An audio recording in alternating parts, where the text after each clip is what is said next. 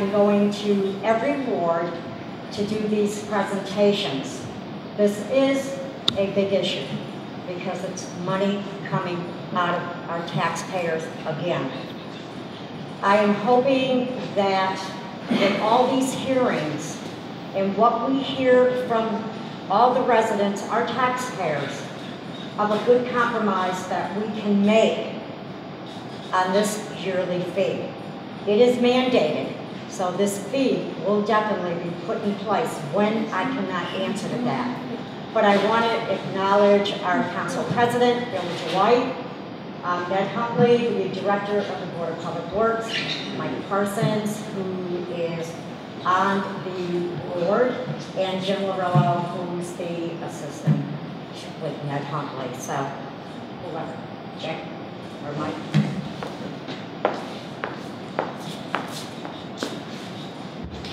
So it's not, it doesn't seem to be amplified, so it's just recording.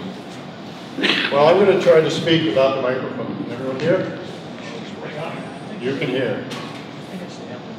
It is in. It is amplified? So as Marianne said, my name is Mike Parsons. Uh, I'm on the Board of Public Works. I've been on for about five years or so. Uh, I live here in Ward 6, and I've been asked to uh, put on this presentation this evening. What we hope to accomplish in very broad terms is to give you an understanding of how we've gotten to where we are today, uh, give you an understanding of how, um, uh, how broad our responsibilities are in the area of stormwater and flood control, and, and then give you also an understanding of the makeup of the proposed ordinance and as it sits in front of the city council today. So we'll be talking about both the stormwater system in the city and the flood control system. We'll be talking about them separately.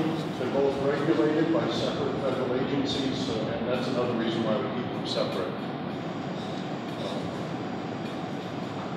We'll be talking about the need for more funding. All of these new federal requirements are going to result in a requirement for more work by the city, and that means more money. As I said, there's a sample, there's a proposed ordinance um, that's been submitted to the city council, it's under review by the city council, and that's what led to the board meetings like this one tonight. We're going to talk about the ordinance. And then, if the ordinance is passed, we'll give you an idea of uh, how uh, bills might be calculated for single-family residences and commercial and industrial properties in the city. So with that, I'd like to focus first on flood control. Um, This first slide is on Pleasant Street, as it says. It's from uh, back in 1936. In the 30s, there were a number of very significant flooding events in the in the Connecticut River area. Uh, It's floods like this one. This is Pleasant Street, and you can see this building. Some of you might recognize as Sylvester's. Right at the end is the Hotel Northampton.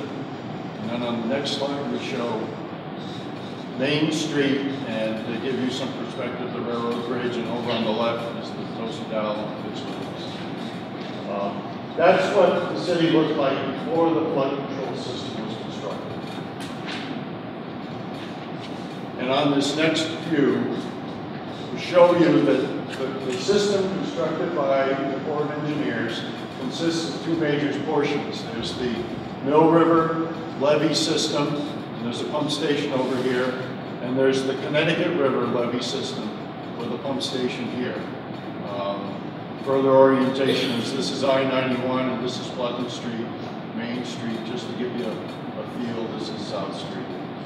Um, So if you can keep this layout in mind, um, uh, Jim Dostal, who I'm sure many of you know, uh, prepared a video with uh, Northampton Cable uh, to describe the flood control system and some of the challenges we have in operating and maintaining it. And we'd like to look at that video now, and then I'll pick up the presentation.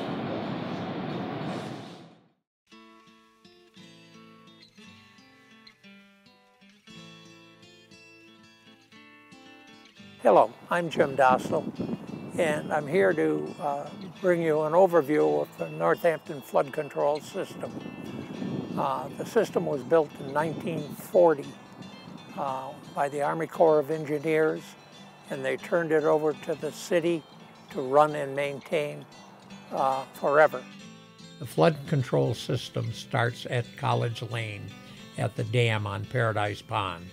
The Old Mill Riverbed was diverted down across West Street to South Street and then to the Oxbow. The drainage from the lower portion of the city still follows the Old Mill Riverbed to the flood control station. The other half of the flood control system starts at Pomeroy Terrace at the College Church and then loops around to Henry Street, over to Hockanum Road, then down to the flood control station. It continues on across the railroad tracks, crosses Route 5, and ties into the high ground in the back of Lyman Road. When the flood control station is put into operation, the gates are dropped to catch any debris coming down the channel. Water is diverted to the pump well in the flood control station.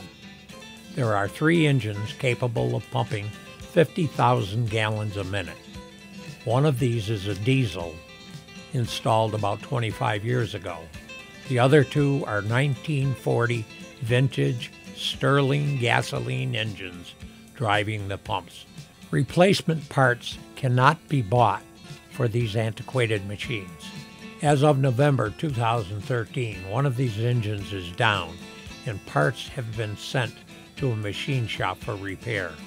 Without these pumps, the city is vulnerable to flooding. There are three stop log structures one at West Street, Route 66, one at the railroad crossing on Pleasant Street, and one on Route 5 by the bowling alley.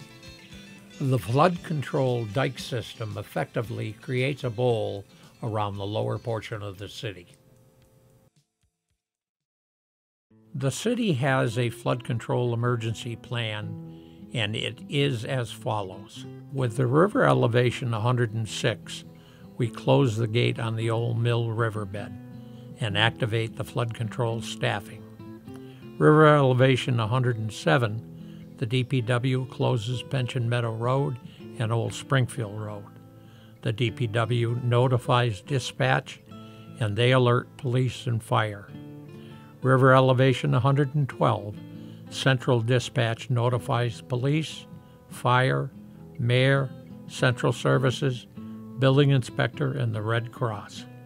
The river elevation 115 to 116. Mount Tom Road nears flooding. Island Road and Ferry Street residents notified. Venturesfield Road and Hockanum Road closed. Police Department closes Mount Tom Road at Atwood Drive. Fire Department sets up Emergency Management Center.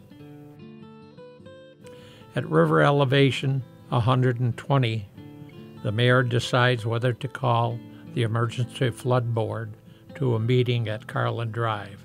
Emergency manager orders B&M Railroad closed. DPW closes Old Ferry Road and installs center uprights for stop log structure at Route 5 and Mount Tom Road. River elevation 124. The sill at the stop log structure begins flooding Route 5. Stop log structure at B&M Railroad is one foot from flooding. Route 5 and Railroad stop log structures are fully erected. Route 91 exit 18 ordered closed.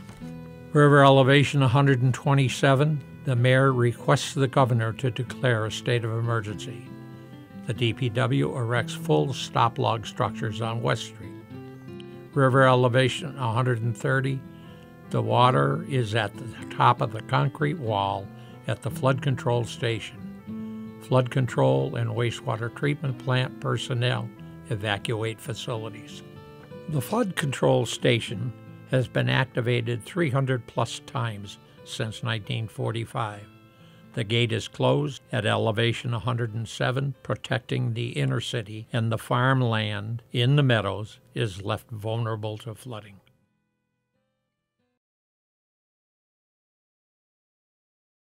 The flood control system protects Northampton from potential flooding. The map shows what could happen if the dikes fail or the pumping station fails to operate. At river elevation 118, flooding of Lower Pleasant Street, Lower Conz Street, and Hockanum Road areas. At river elevation 127, all of Conz Street, Veterans Field, parts of Hawley Street, and up to Bridge Street. At river elevation 137, all of Hawley Street, Pleasant Street to Main, and Market to King. At elevation 147, the entire lower portion of the city would be underwater. To bring the flood control system in compliance, the City of Northampton must invest in its upkeep and maintenance. The stone riprap lining the Mill River bed and outside of the dike system needs to be cleared of all growth. The dikes require a 15 foot access road extending from the bottom on both sides. Any trees or structures in that zone must be removed. Parts of the Mill River need to be dredged. The flood control station may need upgrade or replacement. Future studies will determine which avenue to pursue. The Army Corps of Engineers has mandated that we do studies on the dike elevations and the flood control stations to determine cost.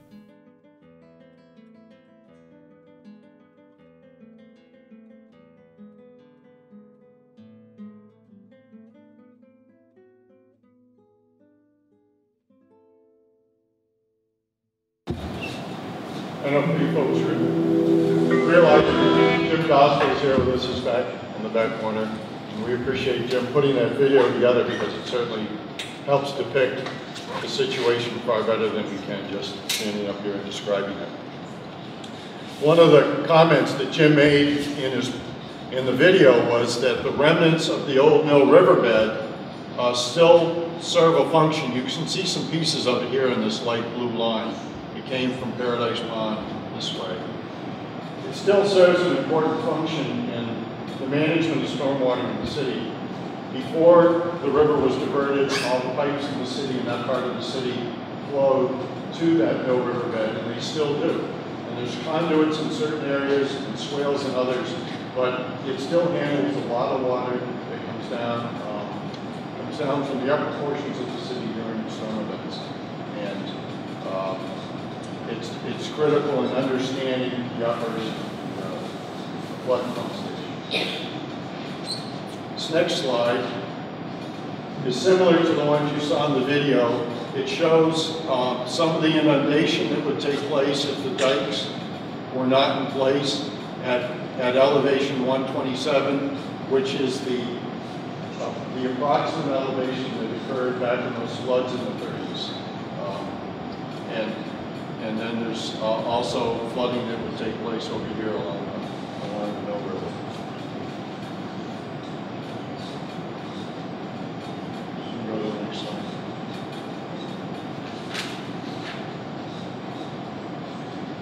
We put this little sketch together to try to convey to you the importance of the flood pump station. Um, The station needs to perform under two really pretty different sets of conditions. This little picture is a cross-section through the levee. The pump station is located at this location. This is the area outside the levee that's affected by the Connecticut River. This is the city side of the levee that's protected, uh, city side of the levee that's protected. Under normal conditions, this is um, the old Mill Riverbed. Flows down to the dike. There's a conduit under the levee, and almost all the time, almost all the time, flow just goes through that conduit and out to the Connecticut River.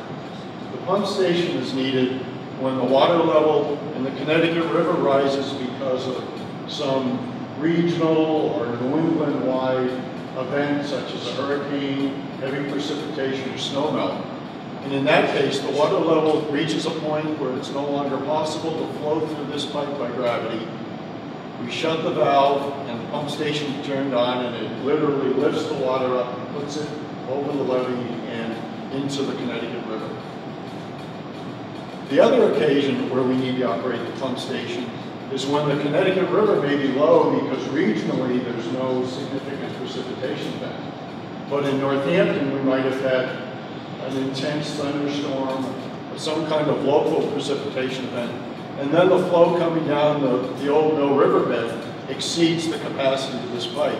And in that case, we shut the valve, turn on the pumps, and pump that flow um, over the levee so that the flow doesn't back up into the city. So there, there are two very important functions that that pump station serves. Post um, Hurricane Katrina, the Army Corps of Engineers um, certainly discovered they had a problem in New Orleans with failure, failure of the levees, and so they instituted a program across the, country to reevaluate the condition of flood control systems so that that experience wasn't repeated in locations like Northampton. The Corps of Engineers has come to the city with directives, as Councilor LaBarge mentioned, um, and they focus on, first, on improving maintenance. Jim talked about maintenance requirements um, in the in his video. Um, it would help to understand that when the Corps of Engineers built the flood control system in the late 30s and early 40s, the deal was the federal government paid for it as long as the city agreed in writing to operate and maintain it. And the city's done that over the years, but the level of maintenance that the city's been able to provide with its um, limited budgets doesn't live up to the Corps' current standards. So that's what's changed. Corps now understands that improperly maintained systems pose a risk to the adjacent communities. The second requirement of the Corps of Engineers is to investigate the levees, the earthen structures, uh, and the pump station to make sure that they can perform as intended. Uh, there's concern that they may have settled, there may be erosion, uh, the soils uh, may not be as uh, resistant to flow of water as they're supposed to be. The riprap structures, the stone on the surface may not be performing as originally intended. So they put together an extensive list of requirements that will require the city to retain the services of an engineer to study the system. And then the third piece is that pump station that Jim talked about in the video. Um, literally, most of the components are original equipment. As you heard, uh, one of the pumps is not operational at the moment. Uh, can't buy parts for this pump station off the shelf. Uh, the city's in the process of having some parts machined specifically for that engine. Uh, the process took a, a month, I'm told, to find a, a shop to fabricate the part. It will take two more months to manufacture them. And that's okay right, right now because we don't need that pump.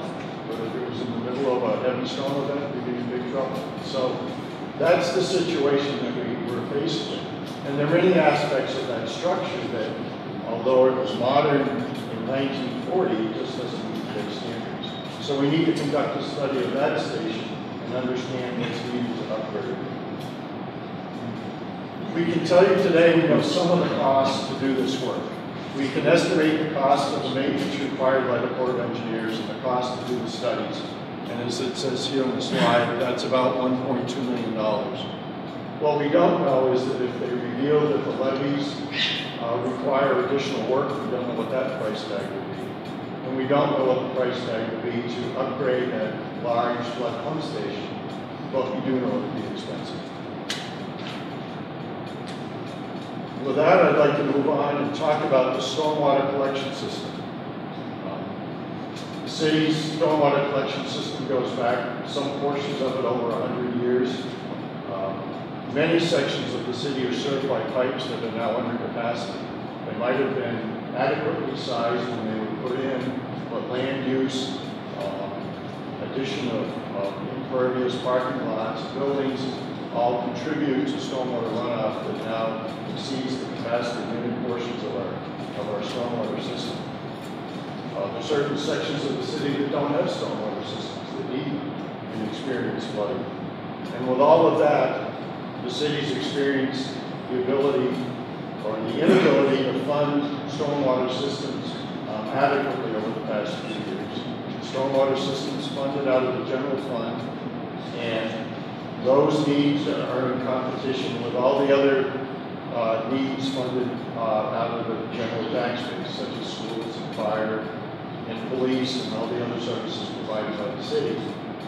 An example of that is, uh, many of you may know that the city recently rebuilt North Street, section of street, 4,000 feet long, so eight tenths of a mile, not a real long street.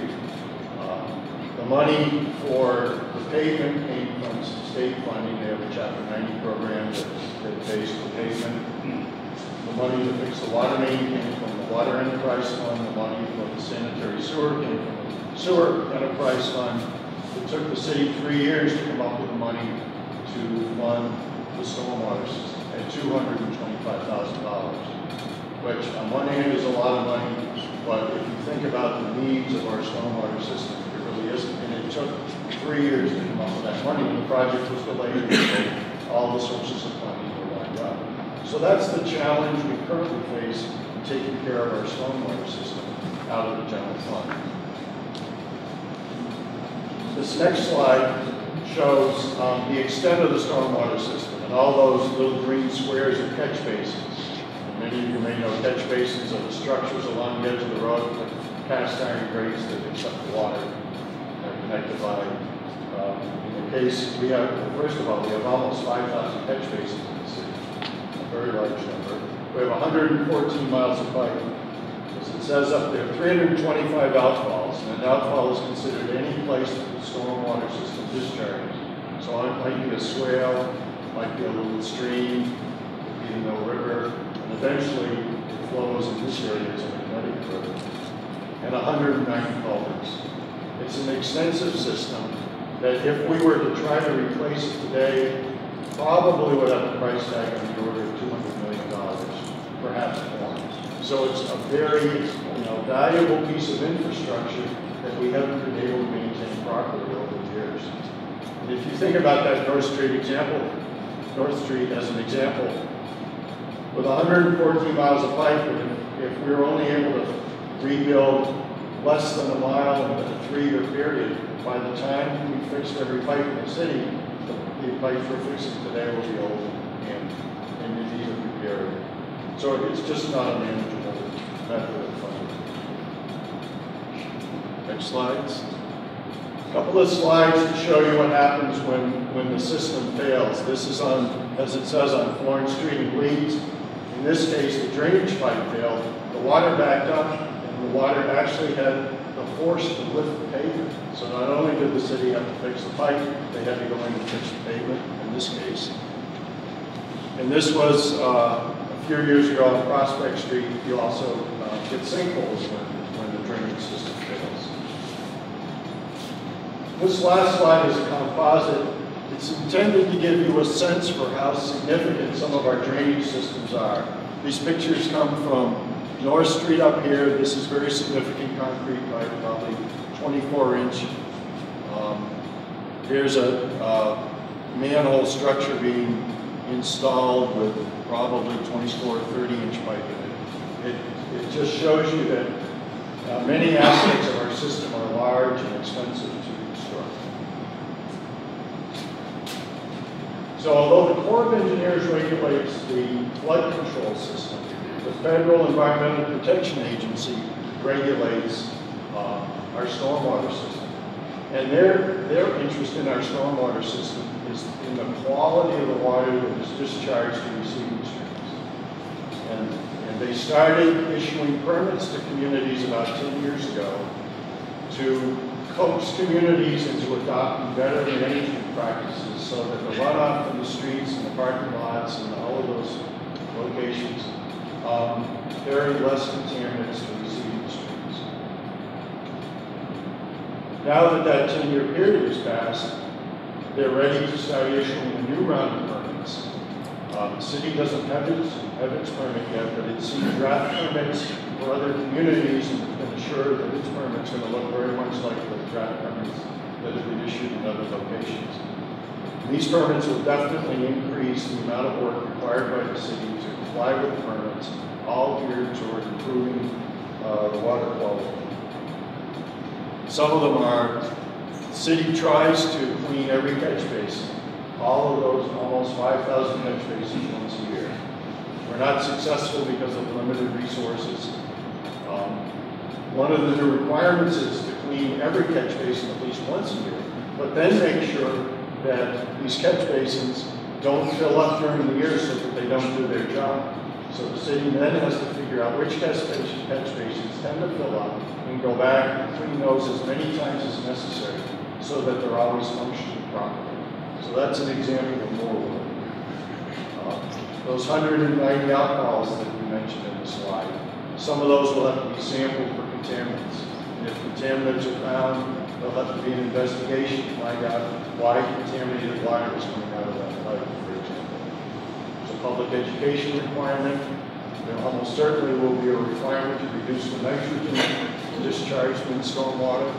This all evolves from problems in Long Island Sound that are, are caused by nitrogen. And, and communities up and down the Connecticut River in both states, primarily in Connecticut and Massachusetts, Massachusetts have been pressured for years now to take action to reduce the discharge of nitrogen to the receiving waters. So we'll have to deal with that. And that last bullet deals with another technique. It's sort of a broad category of green infrastructure, but what it really drives at is, as we modify our drainage systems, we need to try to provide the ability for that, to have the stormwater infiltrate into the ground. That reduces the peak flow that leaves in the pipes. It provides some level of treatment by filtration through the ground, and it also recharges our own groundwater as opposed to sending the water down, down the river. So that's the, that's the stormwater. Um, So what's, what's been happening? Back in March, the city council passed an order that created a stormwater ad hoc advisory task force to look at the issue of how can the city possibly fund all these new directors? Um, You can see the, the makeup of the membership up there on the slide. This committee met 12 times, uh, two to three hours a time in a three-month period last spring. Uh, The members did work on their own, between meetings, it really, they really did a terrific job. And uh, their mission is shown on the next slide. Their mission was to consider possible sources of funding and come up with a recommendation for the city. And of course, they considered the general fund, which is our current method, and I've already talked about some of those problems. They considered or talked about the use of overrides to fund it, and um, concluded that there's some inconsistency and risk associated with funding work through overrides. They talked about a stormwater and flood control fee. It's a technique used by some other communities, some in Massachusetts, and others countrywide, to fund it. And then they also talked about a possible combination of some of these methods. Uh, We understand that the city of Westfield adopted a stormwater utility fee a few years ago and attempted to split the cost between their general fund and the fee. Um, And now we understand that they um, think that that's not working as well as it should have been considering that. Uh, But it just shows you the different models out there, um, and the task force looked at those um, and came back to the city in July with a set of recommendations, with a report and some recommendations. Their recommendation was to create a stormwater and flood control fee. They thought that that was the most reliable, consistent way to fund all these requirements and allow the city to start to maintain its, its um, systems. And the re, you know, they, they reached that conclusion uh, really based on a couple of considerations. One, one I've talked about before, it's just not feasible, it, it just doesn't seem to be a topic of discussion to get this kind of money, perhaps up to $2 million a year, out of um, the general fund. General fund is strapped each year, how can we come up with more money, especially in that order of magnitude? And second, a fee applies to every property in the city. That was their concept. Uh, There are entities in the city that that are exempt, nonprofits are exempt from general taxation, so they don't participate in the general fund as a source. Um, This task force thought this was truly a citywide problem, and that every property in the city should be contributing, and that's an aspect of a, of a utility fee um, that, that can achieve that goal. And you'll see an interesting pie chart at the end of the presentation that drives home that point. And then one of the other concerns of the task force was, well, if DPW thinks that the project program is going to cost $2 million in year one, what's going to happen in year two, year three, year four, and, you know, hold on.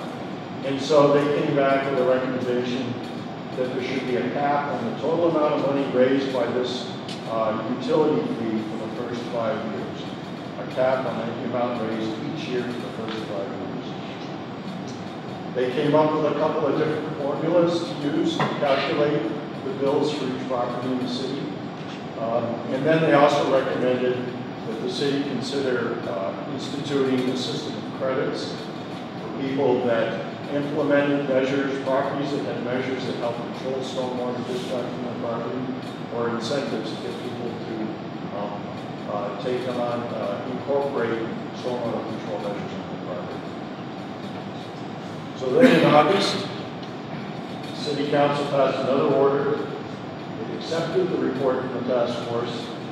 It directed the Board of Public Works to draft an ordinance along the lines of the report from the task force. And along those lines, the Board of Public Works formed two committees.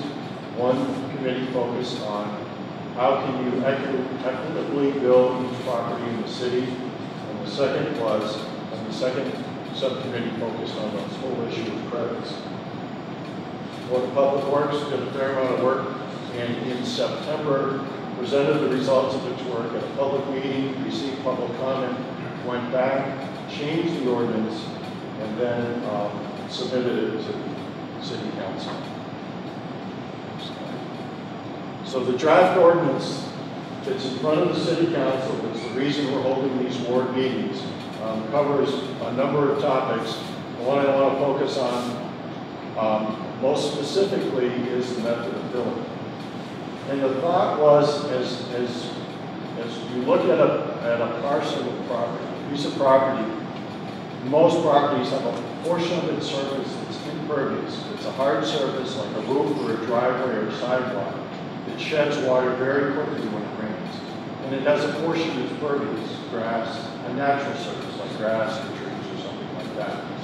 And the idea was to try to weight those two elements of a piece of property, heavily weight the impervious, the size of the impervious area, and lightly weight part that accepts rainwater like grass and woodlands, and come up with a way to characterize each property so that it can be billed. And the thought was, well, those impervious surfaces, those hard surfaces that contribute to runoff, let's weight that at 0.95. Let's say that 95% of the water that hits that surface runs off and has to be handled by the stormwater system. And for the pervious surface, the grasses, lawns, trees, gardens, let's weight that very lightly at 0.1, which means like 10% of the water that hits that surface runs off. And that seemed to be a pretty fair way to do it. Then they went one step further and said, for residential properties, one to three family units, let's try to standardize the billing process. First of all, it represents 6,600 properties in the city. Um, There seemed to be uh, a sense of uh, fairness that, that property owners in, in, in that range all paid about the same amount. As a result of the public hearing, the board was encouraged to consider a tiered system. So they adopted a three-tier system based on the amount of impervious area on a property. Tier one is if you have up to 2,000 square feet of impervious area. Again, it's roof, driveway, walkway. Tier two is 2,000 to 4,000 square feet, and tier three is 4,000 and above. All the other properties in the city, uh, residential, four units and greater, industrial, commercial, not-profit, uh, open space, they'll all be calculated separately, um, and there are 2,600 of. So it's, it's a, it's a sizable task. There was a concern that this system uh, might impact too heavily, the financial impact might be too great on large tracts of open space um, which are good for the city from, a- from a, a lot of different reasons and good for stormwater control. So the, there's a recommendation that those, those areas, any pervious area, again, that's the grass the trees, those areas be capped at one acre. So if you have one acre of pervious area, your bill will be based on one acre. If you have ten acres, it's just gonna be based on one acre. And that seemed to be, um, pretty fair and it- it sort of met the goals of the program. And then, as I mentioned already, a budget, a budget was developed, and in order to meet uh, the flood control system needs on a consistent basis, the stormwater EPA needs on a consistent basis, and also start dealing with the deteriorated infrastructure that we have. The budget um, was estimated at $2 million. The fees that were calculated here are based on the $2 million budget. This next slide shows an aerial view of a neighborhood. Um, This purplish pink color highlights all the hard impervious surfaces on each of those parcels. It's actually done automatically through um, state GIS, Geographical Information System. It's, it's pretty slick what some technology can do. And it gives the city the tools to measure parcel by parcel, um, the impervious area and the total area um, uh, in the city.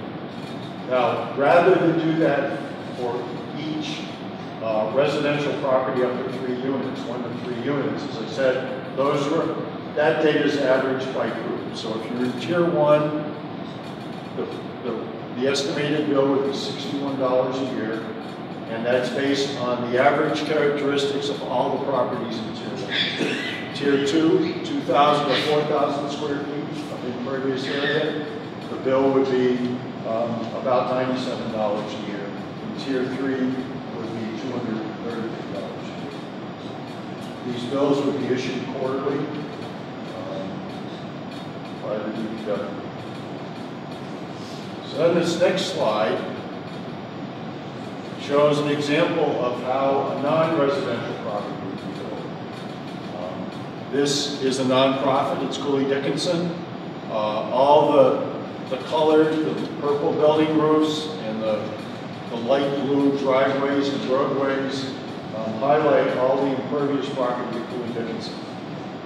On the next slide, the impervious area is over 600,000 square feet. That's like 16 acres. And it's a huge amount of impervious area. That is heavily weighted because the water runs off it quickly at 0.95. So in this formula, we're going to base their bill for the impervious area on 650,000 square feet. For the pervious area, the lawns and the woods, they have over a million square feet of pervious area. That's on the order of 27 acres. There's a cap, remember the one acre cap, they only get billed on the basis of one acre, 43,000 square feet, and then again, only at 10% of that. So the pervious area bill, that portion of the bill is only based on 4,000 square feet. But then what you do is you add the two components together, you come up with a total. For the purposes of the ordinance, that's defined as the hydraulic acreage. That's the blended number that contributes to runoff from this particular parcel.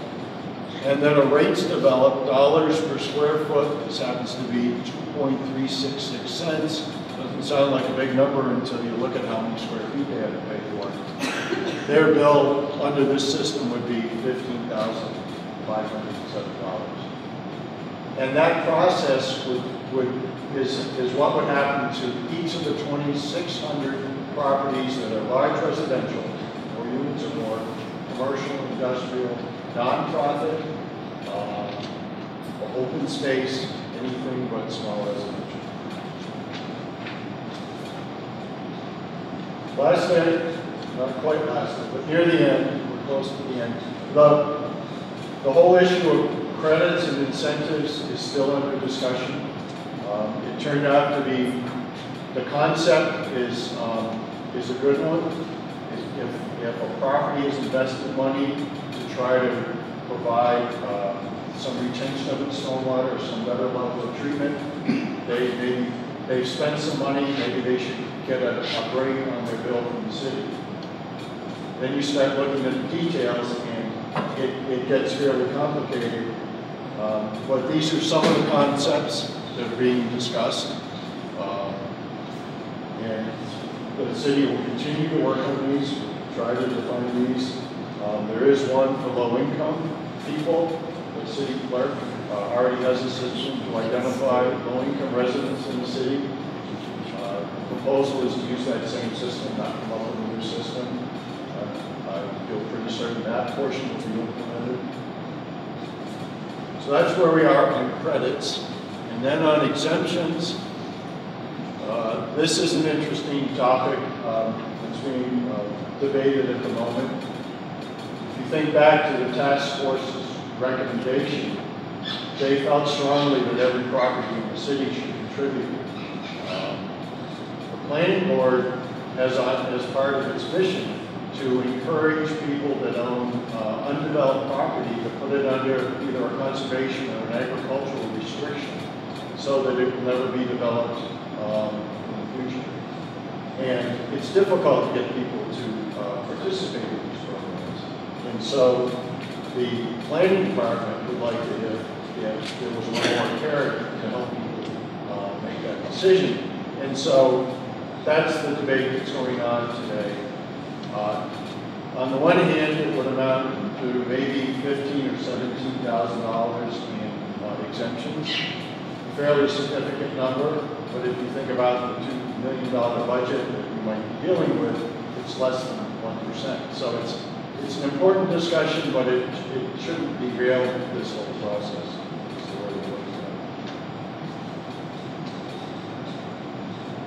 Uh, If this method is, is accepted, and the formulas that I've talked about are accepted, it's a fairly mechanical process to calculate the bill for a property. And if somebody gets a bill and they think, they think it's wrong, there will be an appeal process, and in our view, it should be resolved pretty easily.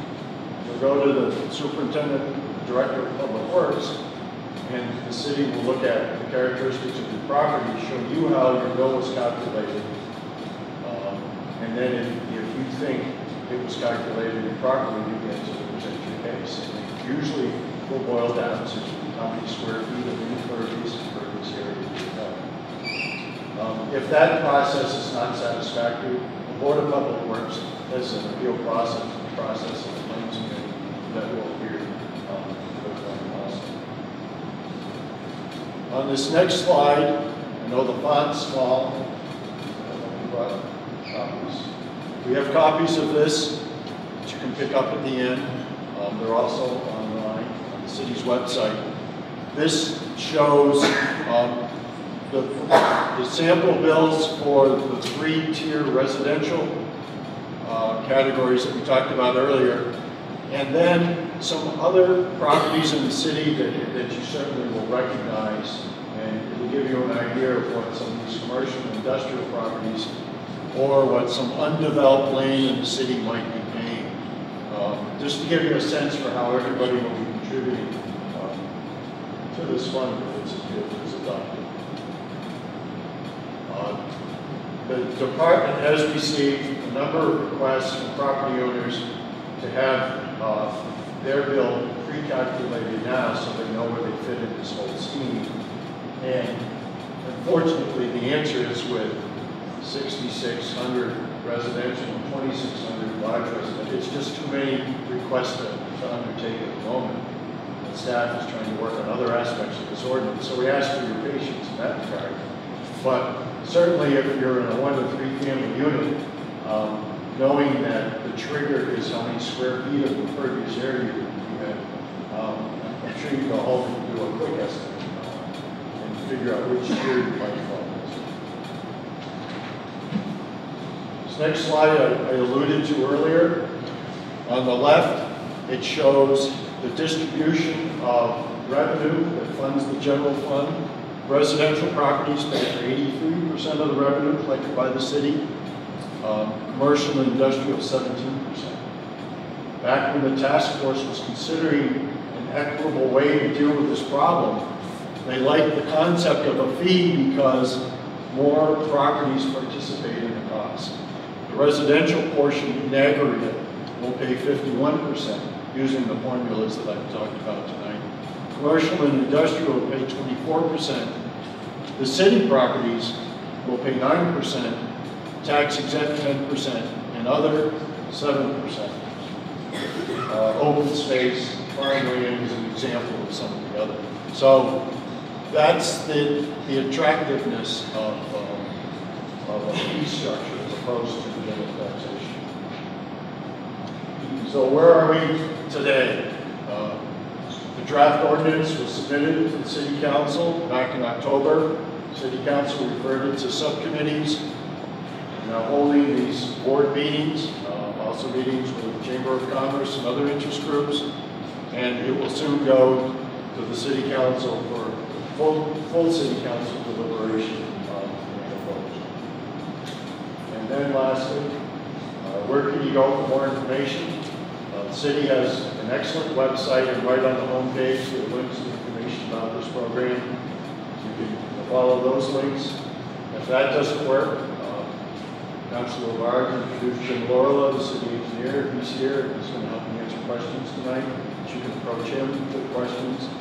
And then lastly, as this moves forward to the city council, we encourage you to check the calendar to find out when it's going to be discussed um, and uh, participate uh, that. So, with all of that, um, we're ready to take questions. I'm going to ask Jim to help you with the, with the questions. Yes, sir. And could you please state your name and address when you're asking? Charlie Dumas, 4 Castle Drive, in Florence here. I'd like to know, I saw the figure for Smith College at 62,000. Is that before credits or after? Take that, Jim. All the bills that were shown in that table that Mike showed are, are uh, before the credits. I, I don't understand why an institution that doesn't pay a dime of real estate taxes gets a credit. Can you answer that for me? Well, I think the, uh, the desire to have a credit program within the system was something that was recommended by the task force.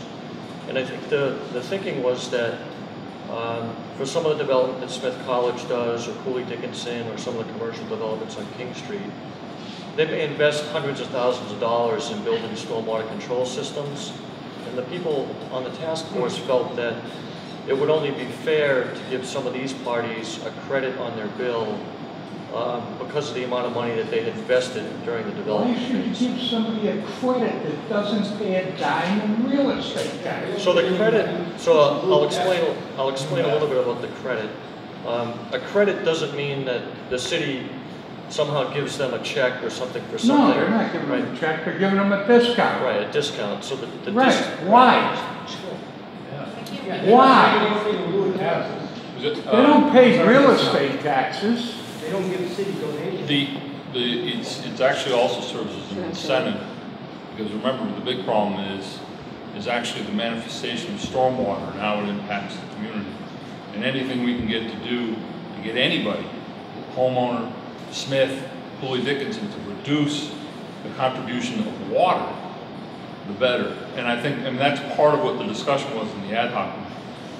Um, be- This can actually be debated on the council floor, it's the same thing, whether Smith or or nonprofits would qualify for. No, they'd like to see you. Oh, I'm I'm sorry. Want to repeat it? Yes. Okay.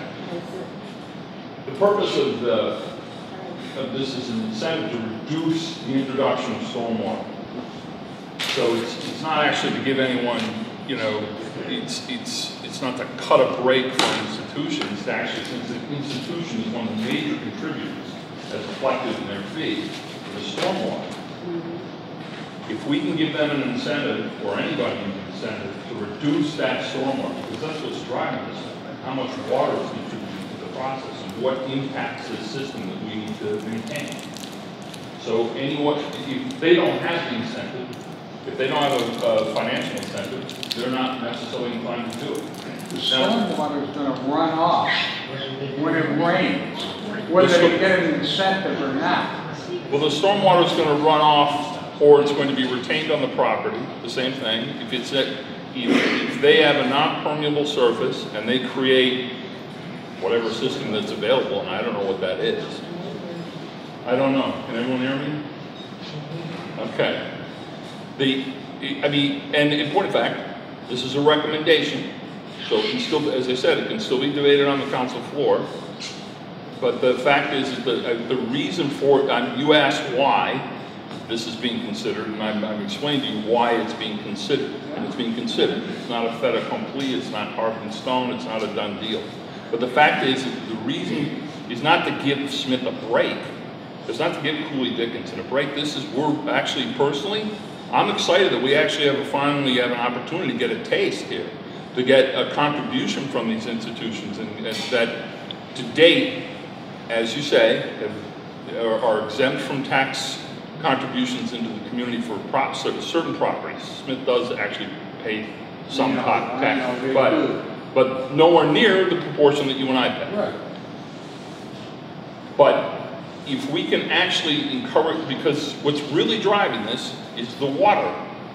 It's not the money. The money is the problem that we got to dole out. They can reduce, if we can reduce the pressures of the water contribution, if that means reducing their input into the community stormwater, that's to the good.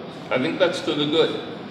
And if they don't have the incentives and they don't do that, we still have the problem, and it's still gonna have to be paid for. So there's the rub.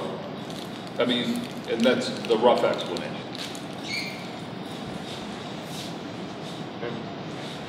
Barbara Castle, Florence Road. Bill, could you just explain that a little more? Are they gonna, are they gonna be charged the full amount and be given an incentive break when they do something, or are they automatically gonna be Well, given an as I incentive? understand, the proposal currently is, this is true of everybody, yes. is everybody, is you're assessed, your, your, how much contribution you are mm-hmm. contributing roughly to the, to the stormwater runoff.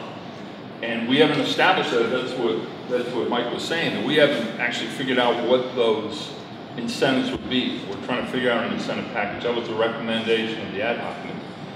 Um, but it'd be across the board for everyone. So if you did something, you would get a, a correction and, and on your assessed fee. One time. One year? Well, I don't know, I mean, that's, that, no, no, no, that's, that- that's all part of the debate. That's all part of the debate. If you, if, I mean, I, you can make a good case. If you, if you uh, have reduced your input to the stormwater, that doesn't exist for one year, it should last the duration of the, of the system. And I, I think Smith would, would argue the same.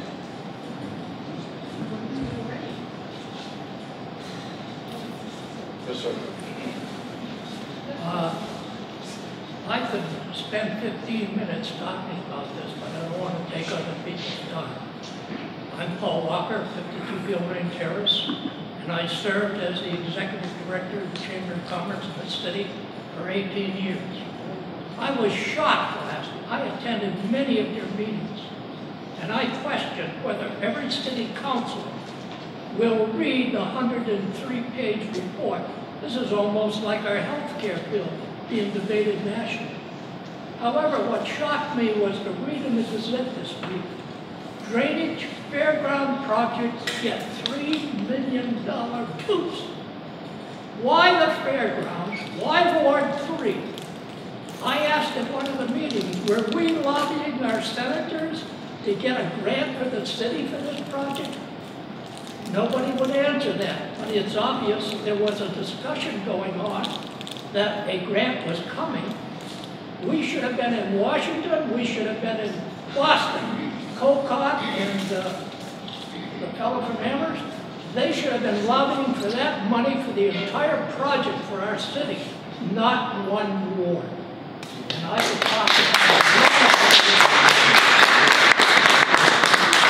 Have you been to Washington to get a grant? Have you worked on a grant for us from the federal government? We work on all the grant programs. I know you say you work on all of them. Have you done one for Northampton? Well, we worked with the mayor's office on, on the one. Well, he, wo- he works with the citizens, you should be working with him. Well, Have you been there? to Washington, I've not been to Washington. Okay, so why not? You don't have to go to Washington to get a grant Well, for a drainage Why project. not go to Boston then? Have you been to Boston? I have been to Boston. And what, what do you get from Boston? Well, we get grants all the time for different projects, and we have a For, grant. for Ward Three? Yeah. How about us, Please, Ward please Six? let him, what- please Yes. let him. Okay, yes. So, uh, FEMA grants in Ward Six for River Road retaining wall? Or Ward Six? Ward Seven? Ward, uh, Sandy Beach, the Roberts Meadow Dam. Water conservation ban across the city. The last point I'd make, like to make, we're rushing in this something. The state of Virginia took the case to the federal judge in that state, and the judge overturned the decision that you could use rainwater as a means of tax. Rainwater is out of your control and my control. How about the snowstorm? I don't see anything. I gave this report to a young man that serves on a planning board down in Texas. And he reviewed it, and on every page, he's got a question that should be asked. I want to know about snow. What's going to be done? Did you calculate the snowfall? Is that rainwater?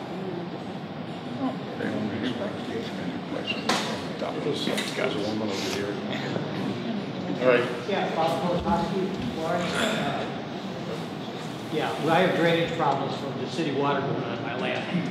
But I want to address another issue. When you're saying you could uh, put your land in, uh, for the big landowners in town, they could put it in the conservancy and stuff, wouldn't that be limiting the tax base and any future growth? Uh, Any extra taxes would be shared by just the members in the city now, as opposed to new members, new people coming into the town? So we're effectively shutting the town off from development? Wouldn't that be the case? I don't think that's a question. Is that, that's not specifically a question related to stormwater. It's, it's Well, about land, about land it conservation. If, if you require people to turn their land into conservation land, so it wouldn't be developed, so they would get the low rate, they can sell, basically give the development rights away. So that means all that land would never be used for housing, and they would never become part of the tax base as That- homeowners. That's true. So everybody here in this room would pick up more and more tax burden as opposed to the city growing and spreading the tax base out. Isn't that the case? Well, that would be true. I think the, the ben- the ben- the benefits of the, the fee program that's proposed that Mike explained earlier is that it has the effect of spreading the, uh, it has, it has,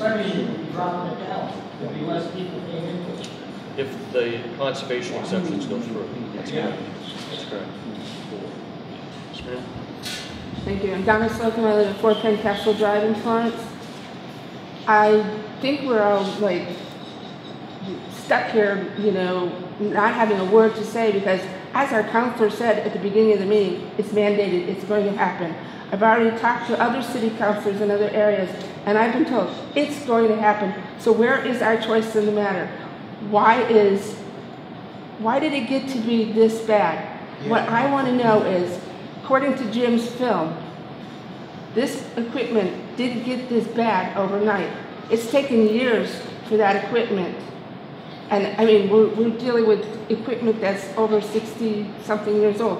Why wasn't it replaced sooner? Why are we having to pay this? Who didn't have the foresight for proper maintenance? Like we have a planning board. And, you know, I just think it's bad, as I say, why are we always, up, up here, always paying for Ward Three in downtown? It's not right. I, my biggest objection to all of this is to, to have to pay for an acre and someplace like Smith College or the hospital have to pay for an acre. That is not right, that's not fair. They're gonna get more credits, they have a lot more money than we do to spend on this. Somebody has to go back to the planning board before this all starts. I think the way the, I think the way the proposed fee, as Mike had explained it, the proposed fee is so heavily weighted to developed areas, so areas that have a lot of asphalt, the large buildings, those are the types of facilities that are gonna get the really big bills that, uh, that are shown on the table that, that Mike explained, and this gentleman earlier said the, the bill for Smith College would be over sixty thousand dollars, so the idea was to weight the bills heavily toward development that have those types of services, and not so much on residential properties that may have more grass or trees or, or lawn, those sorts of things. So if we dig up our driveways, our road would be lower, and we plant grass. How about sod roofs? What's that? How sod roofs? That's our. Sod roof, uh, might be eligible for credit, we'll have to wait and see. Yes, Jim. You mentioned about seniors and low income. A dirt roof? And I think I heard Michael you say something about our city clerk. who handles that. Excuse me, okay, someone is talking, and I. Stand up here, man, stand up. Can't hear you. Stand up. So we can hear what you're asking.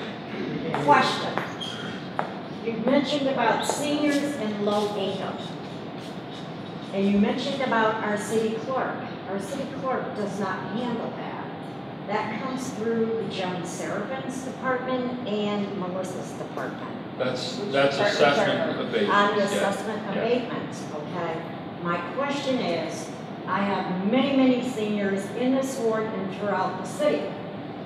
If they are, or if they have some money in the bank, twenty thousand, forty thousand, they cannot get anything that you're talking about. They will not get exempt, and I find that to be very unfair.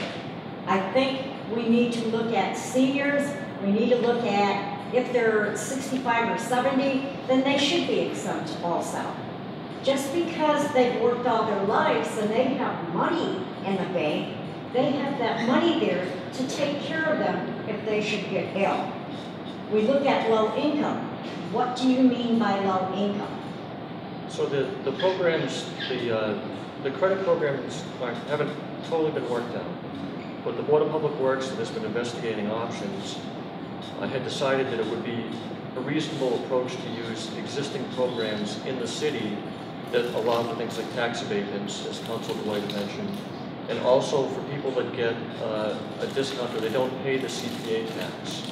So there's a whole program set up for low-income folks to not pay CPA tax. So there's a Right, pro. I- I'm having a problem with that. Because when you say low income, that could be what, twenty-three thousand, twelve thousand, nine thousand a year? Some people go over a hundred to two hundred to three hundred up over that bracket.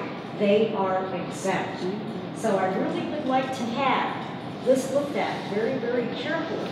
Because I think seniors need to have a break. No matter if they have thirty or forty thousand in the bank, we need to look at the seniors. So if you're gonna exempt a senior, but because they're under of what they have or somebody else has in the bank versus a low-income family, and also, how do you know with a low-income family, are they working a part-time job? Or people today need two to three jobs to survive. I know the people on my ward, they can just about make it, and I told you this. Okay, we're looking at seniors, we're looking at income, some are still pay- paying mortgages on their homes, they have car payments, they have food to put on the table. We need to look at what are we gonna do with the seniors? I think all seniors should be treated equally. Don't split it, treat them all, exempt them. Somehow give them an exemption. I think,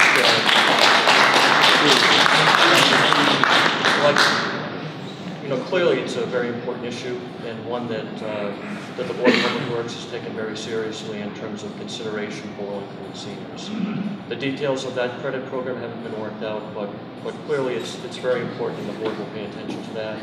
It's something that's not specific to the ordinance, uh, right now, but it's very important. Appreciate your I really wish that you would look at that, because I'm hearing it from many people throughout the city about the seniors, that exempt, exempt, but it goes by income. Go, and even if you own a piece of property as a senior, you cannot get exempt, because that's collateral. That's unfair also. Um, well, I should, excuse me a second, but, uh, that's on us, that's on you and me and Counselor Adams and the other councilors. counselors, that the, the, the exemption, the schedule and all that stuff's gonna be on the council. The, these guys were taking all the heat, so maybe I should stay standing up here so I can take some of it too. But, uh, these guys actually just helped, they laid out the problem, they presented the problem, they pre- presented the money. They're all, the ad hoc committee made the recommendations, um, asking these two guys to change the recommendations isn't fair. That's on us. The councilors are the ones who are gonna ultimately vote that. So maybe it's more appropriate that I stay standing here and answer those questions, more appropriately for them to take the heat about why water flows downhill. Uh, One question that, that you see answered there, I I know you showed the, in that chart, you had the city being nine percent of the impervious. But that didn't the streets, I'm sure, That's right. Okay? But I'm just saying, you're putting it all on the taxpayers, but if you spread out a little bit more, if the city on the tax rate got some of the bill for the impervious area, which is the street, which I'm sure takes up a great deal of space, brings a lot of water down there that has to be pumped, et cetera, and all that stuff. Because I'm a little bit annoyed just from the sewer fee we have, that was supposed to be used to maintain the, the sewers we had here. But yet that fee was used to build new sewers, to do the, uh, park where the Northampton State Hospital was, et cetera, and.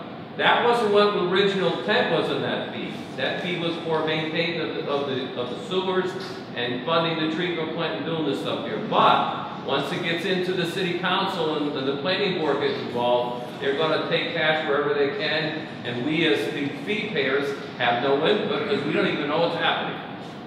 So I'm saying if we're gonna do this stuff with the fee for impervious area, one area which I think is the largest in the city is the streets. But And I think the total taxpayers should be paying for it. The, uh, and point of fact, actually, you'll notice that the city is, there's, that's part of the debate from the ad hoc committee. The City's actually being asked to pay a I portion. know, but that's nine percent, that's for the schools possibly, the It's- it- school parking You're lot, et right, cetera. no, but, and part of the thing that drove the debate, if you'll let me finish, please, and then I'll, I'll get out of the way. But part of the, what drove that debate was, you're the city, I'm the city, everyone here is the city. So some people said that's double dipping, was one argument, right? You know, the fact is, the city's not some special agency that has its own money, it's that we're, that's our tax money that we're paying for it, so it's, in, in a sense, the fee that you're getting say, sixty-seven dollars, then you add to that also, and I'm just presenting the argument, so, I, yeah. I, I don't deny that, but I then ask the question, does the city, schools, etc., do they pay for water and sewer fee off the tax rate? They do. They do, yeah. Okay. Uh, and I'm sorry, uh, there were some questions over here too, if if we can go over here. Um, I'm Paula Brodsky, I live at 11 Elm Court in Florence. And um, there's a few things. First, it seems like really rushed, like all of a sudden we have to do this. And we've had several capital projects in this city, and not, I mean, we have the fire station, the police station. I mean, these are major expenses, and now all of a sudden we have the stormwater thing. And um, even with those projects, there were committees that were formed, there were years. By the time we came to passing a two and a half override, people were very knowledgeable about them. I don't see that happening here, although I know that's why you're getting the word out. So, the other thing is this came from FEMA or something. I mean, this system wasn't put in by the city, it was put in by the Army Corps of Engineers. And the city, whatever reason, maintained it as best they could. I don't think so. Or, or not. Or not. Or not. But here we are in a situation, and so that's up to question. And then it says we're gonna do studies, we're maintaining, we want two million a year for how many years? I mean, I, I don't, I feel really kind of queasy about the fact that I don't know if we know what we're doing. Because there hasn't been updating. We haven't had the studies done yet, where the first two million is gonna, for the, For the studies. Well, for the studies. you- um, There's multiple part question or comment. Yeah. The, uh, actually, the conversation's been, well, since I've been a counselor this, I'm, I'm going on to my Well, it- it- since Councilor LaBarge was first sworn in 16 years ago, the discussion, this discussion about stormwater and how we address the issues that we're, we're talking about has been ongoing. It's, it's, it's been ongoing, it's, it's crested, if you'll pardon the pun, at this point where we're actually with the mandates. And I should also point out, the mandates are being challenged. They're still being challenged. And so it's, it's a possibility that the mandates may not, some of the mandates might not be enforced. So the mandates that were described here are uh, already in, in process. But there are other mandates that are coming that, that are being challenged, and there's been some suggestions they're going to slow down the, the requirement. The federal government built that dike system at our request, at our request. Um, that was back in the day uh, when it was 1936 was the flood, 1938, 1940. He was at the point when federal government was investing in large infrastructure developments and projects. The Army Corps of Engineers designed it. Our deal was they give us those that levee system, we maintain it.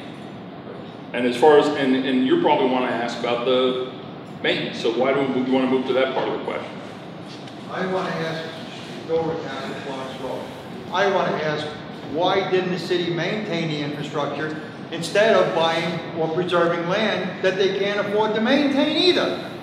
Uh, and then put on our taxes as a burden. They knew about it, you said sixteen years, how many years ago? Well, we- Why wasn't this thing taken care of? You, you want to talk to that about the, You know, the maintenance and deferred maintenance issues and stuff? Sure. Well, you, they ask her. The, the ladies are right, you knew it. miles of storm drainage system that we can't do anything about because it's insurmountable. The pumping station is in such ill repair. I mean, I, I- I'm almost getting like, you know, you know, We think in everything is, everything is trauma here, you know, that everything is.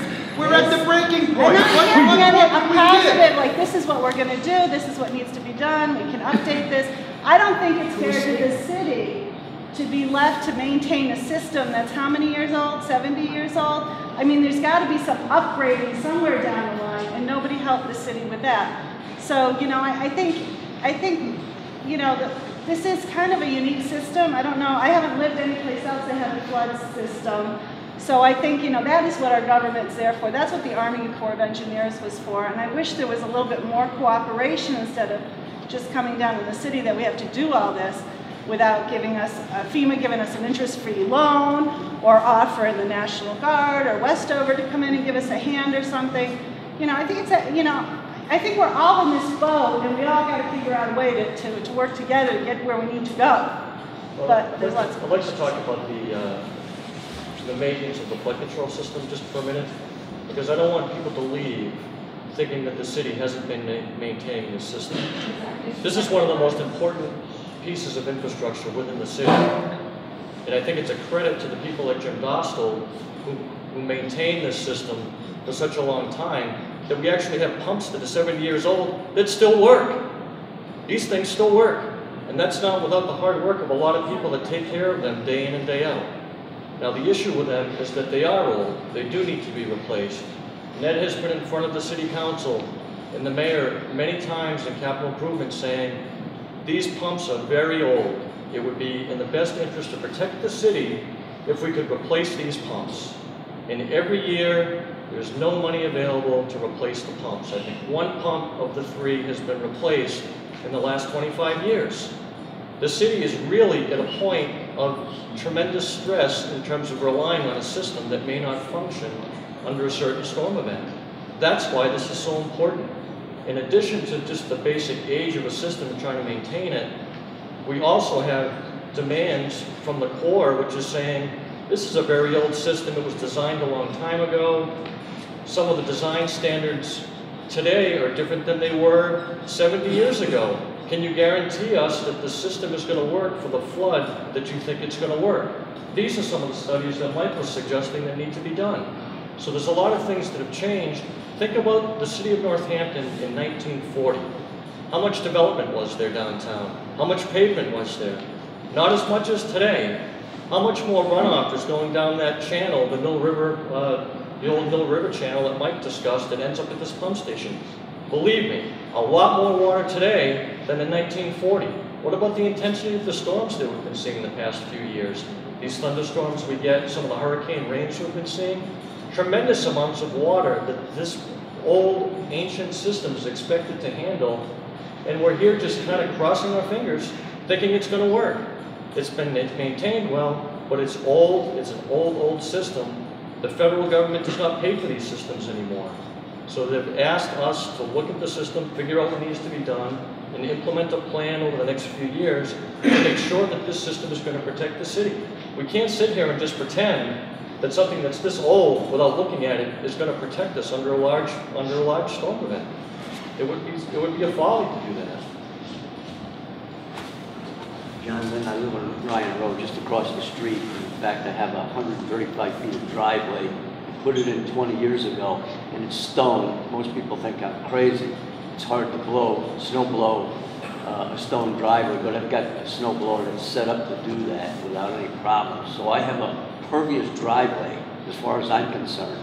But a couple of things have come up. I've been studying this for a long time.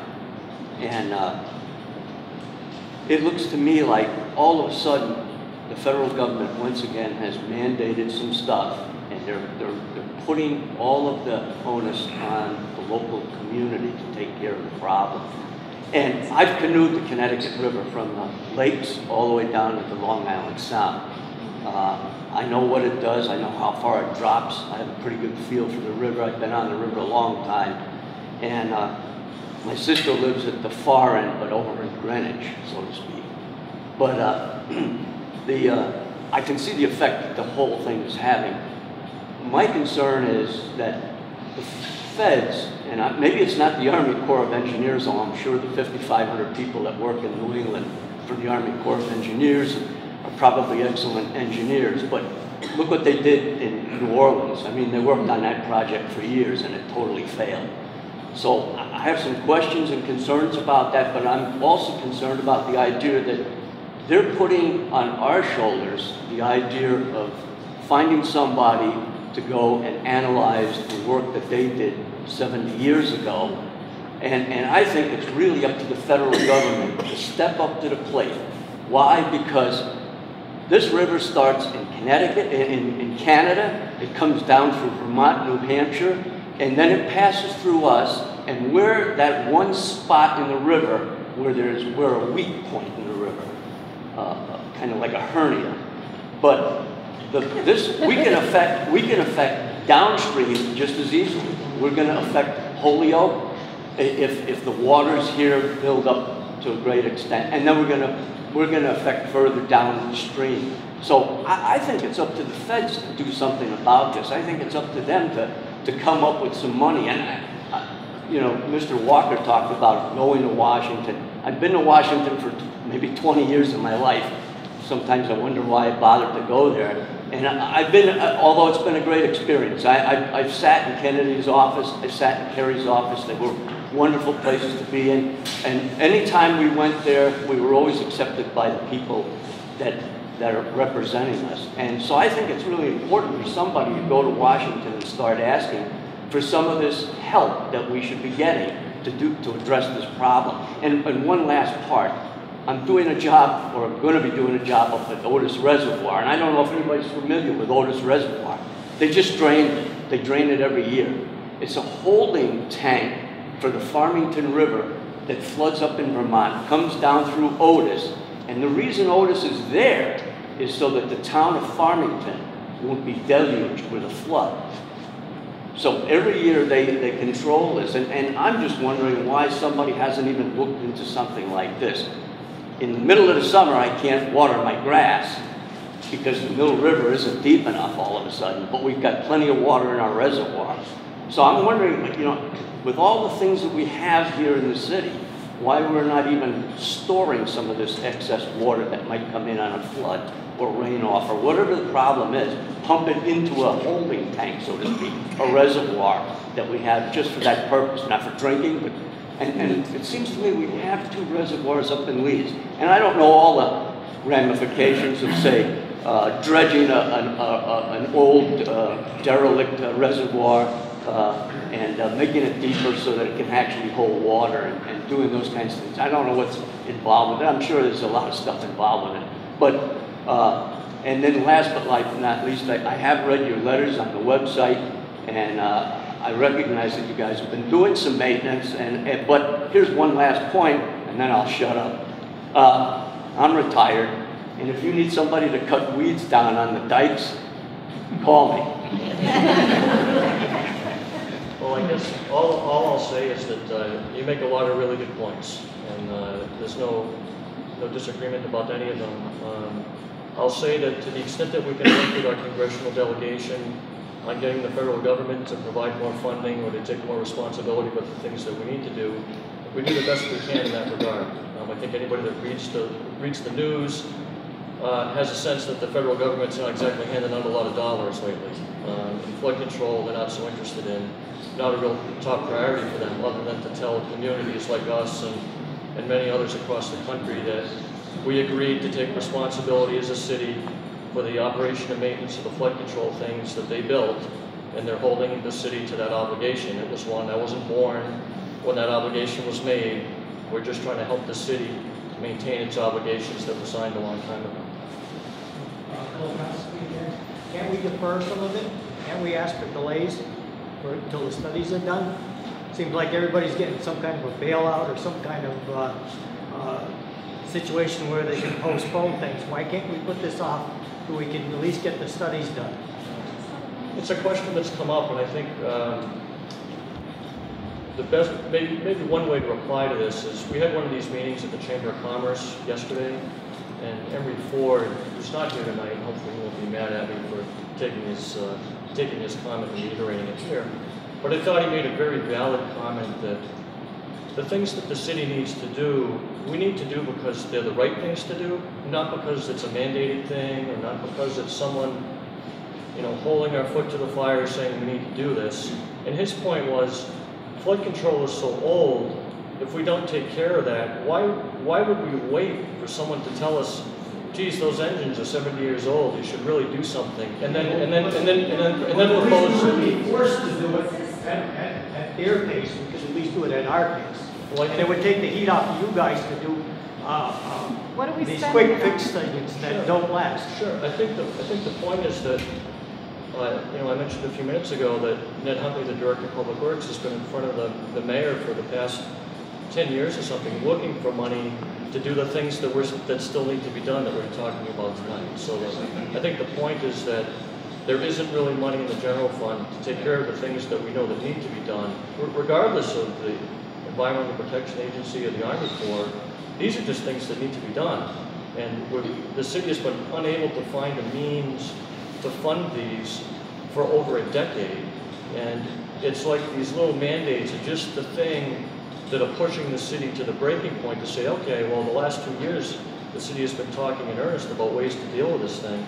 And I think Terry Culhane, the chair of the Board of Public Works, has been saying at the previous ward meetings that the EPA, they do have something to say, and if you don't comply with the permits that they issue, the fines are like twenty-five thousand dollars a day. So these, these are things that you don't, kind of mitigation on that. See how we're working towards a solution, can't you bargain it a little bit?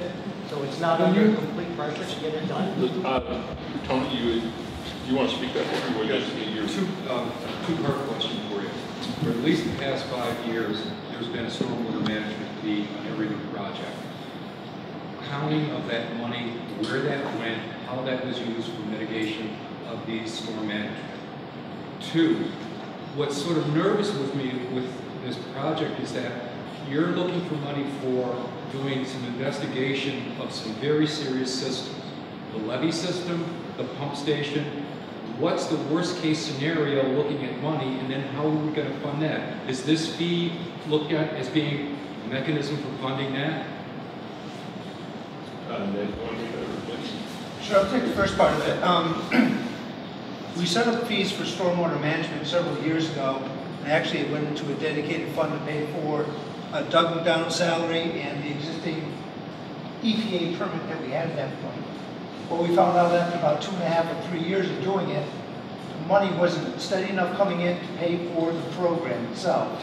So that reverted back to the general fund, and those How much the money was that, that was generated?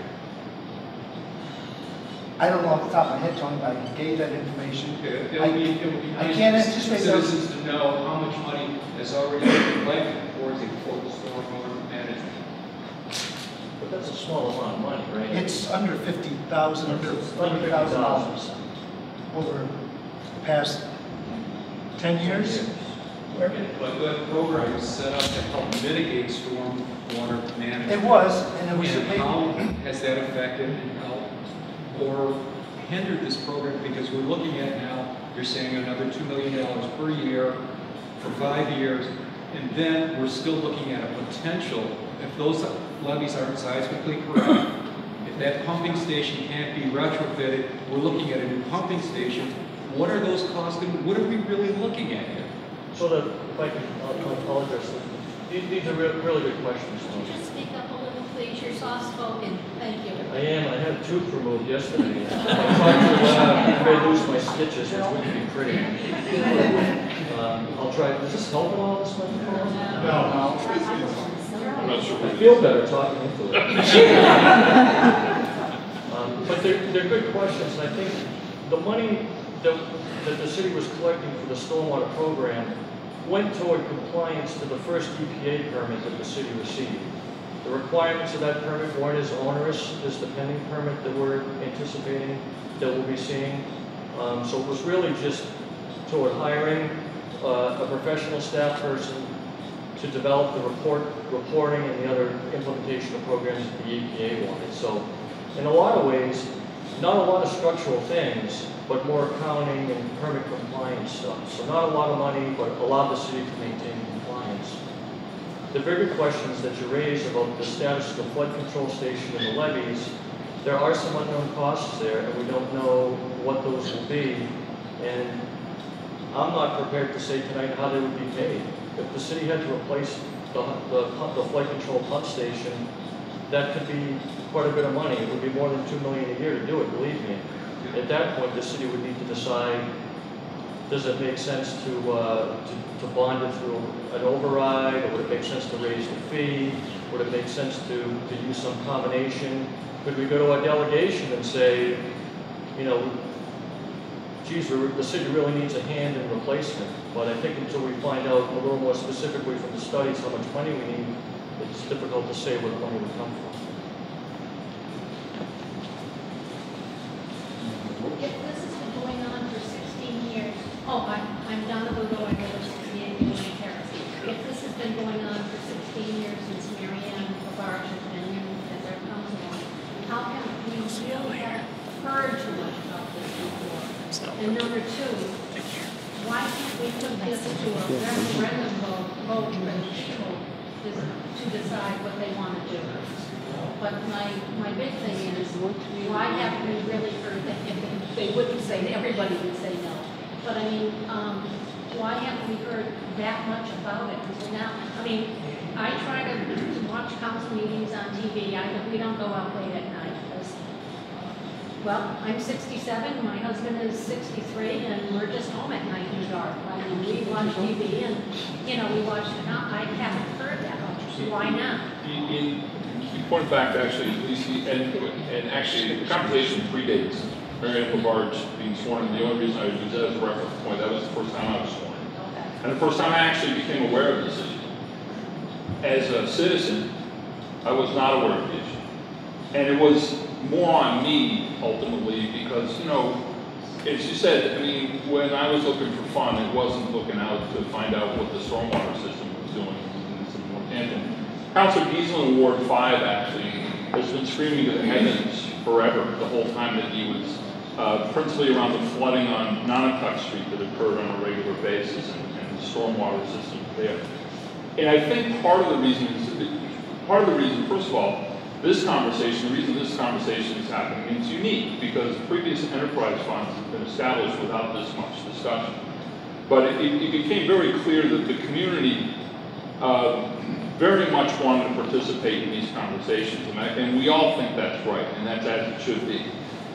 So, Councilwoman, there's been a lot more push and a lot more emphasis on it. And I, and I have to be honest, I think what happens, which usually piques people's interest, I mean, there is, there'll be lots of discussions, but the first time money is starting to be discussed, when, how much it actually costs, and those conversations were only spoken in terms of like, this is gonna cost us a ton of money in the future, that, what they kept saying. When the point where we're actually discussing a fee was, you know, when people start to get engaged in the conversation for real, that's when they're going, well, wait a minute. And it's appropriate, these are, I mean, this is the way these things play out. And it's, it's our responsibility, which is why we're having these forums, it's our responsibility to, to go to people. Stand here to get yelled at from time to time. And, you know, that's why we get paid the big bucks. Because we're, we're supposed, I mean, because we're a representative voice, and we have to understand the concerns, the anger, the frustration that's all associated with this. And then when we have to make a decision, we have to own that decision. And so that's, I mean, I, and, Tony, I'm sorry. I really understand the money issue, but I also understand the citizens, it's like the override. We, we get fed that it's gonna cost an average of this, then all of a sudden we're looking at another number. We just want the real facts, what we're up against. Well, well- And, and, and these guys, I know you know, have a good idea of what another pumping station would be, what the cost for retrofitting that place would be. I, I, I know you know that. And I think the citizens just deserve that right to have a good feeling and understanding what's five years down the road potentially for this. This isn't just a sixty-six dollar fee for a first-tier house, uh, uh, et cetera. We're looking at a potential for some real serious money here. And That's, it's, it's That's true. just gotta be out. No, and that's true, and in fact, actually, that's the point, is that has been out there. And it, it, it, it has been out there, you used to yell it to the skies as well. When, when you were working for the city, you know, you saw what was happening, what was coming, what the potential was. As the state started to reduce its responsibilities, fiduciary responsibility through uh, various funding systems, as the federal government continued to reduce it, put more of the onus on the property owner as opposed to, uh, based on a more progressive income tax. We saw all this happening, along with piles of unfunded mandates. And just like, Maintenance of city property, which is gonna accumulate over time. Absolutely. It has accumulated, will continue, and will continue to compound. And we're looking at another one on top of this. No. So, I think I understand the fear of the citizens really well. We're, excuse the expression, scared. yeah, got it. You know? But, it- and, and, and I think, it- and not to put too fine a point on it, and not to play it down, because actually there is reason to be concerned. There's reason to be freaked out on some level. The fact is, is that we, and this has been sort of on our shoulders and it builds, it's like a, it's like the slow boiling the frog. As each, each new mandate comes forward, each responsibility, each fiduciary responsibility manifests and we have to address, or not. And because we're like that pumping station, all stuff flows down to us as the low point. We, speaking about going to Washington, yes, we're going to Washington. Fortunately, we actually have Washington right in Northampton. Uh, uh, Jim McGovern has his office here. He has our ear.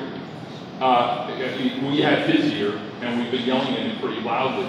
The, the same thing on the state side.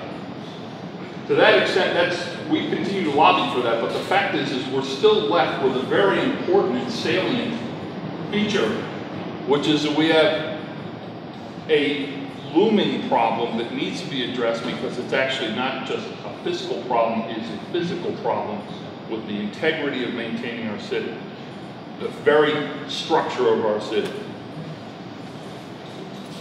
Aren't you, uh, uh, again, aren't you, uh, by imposing these fees on the businesses, delaying any, any kind of economic boom in the city or any kind of resurgence in it? Well, Uh, what kind of business would want to come in and pay another twenty thousand or fifteen or twenty thousand to, to locate here in Northampton when they can go up to Hatfield and get it for nothing? Well, it- you know. You know, what this part of the incentive are you giving people to come here? Well, it's part of the cost of, first of all, living on the edge of a river, which is why. uh, Yeah, but I mean, if they go up to one town up, they don't pay that. If we don't support this levee system, if that levee system fails. If FEMA does not, if FEMA says you don't meet your, your, uh, our conditions for maintaining a good system, FEMA doesn't insure us. MEMA doesn't insure us. It's fine with you, except every one of those downtown businesses goes into default because their mortgage can't be paid, because the no company will insure them. And that, and it doesn't impact you perhaps you think, but point in fact, it actually drives the economy of the city. Yeah, but It's- you're doing the same thing, but slower. We'll agree to disagree.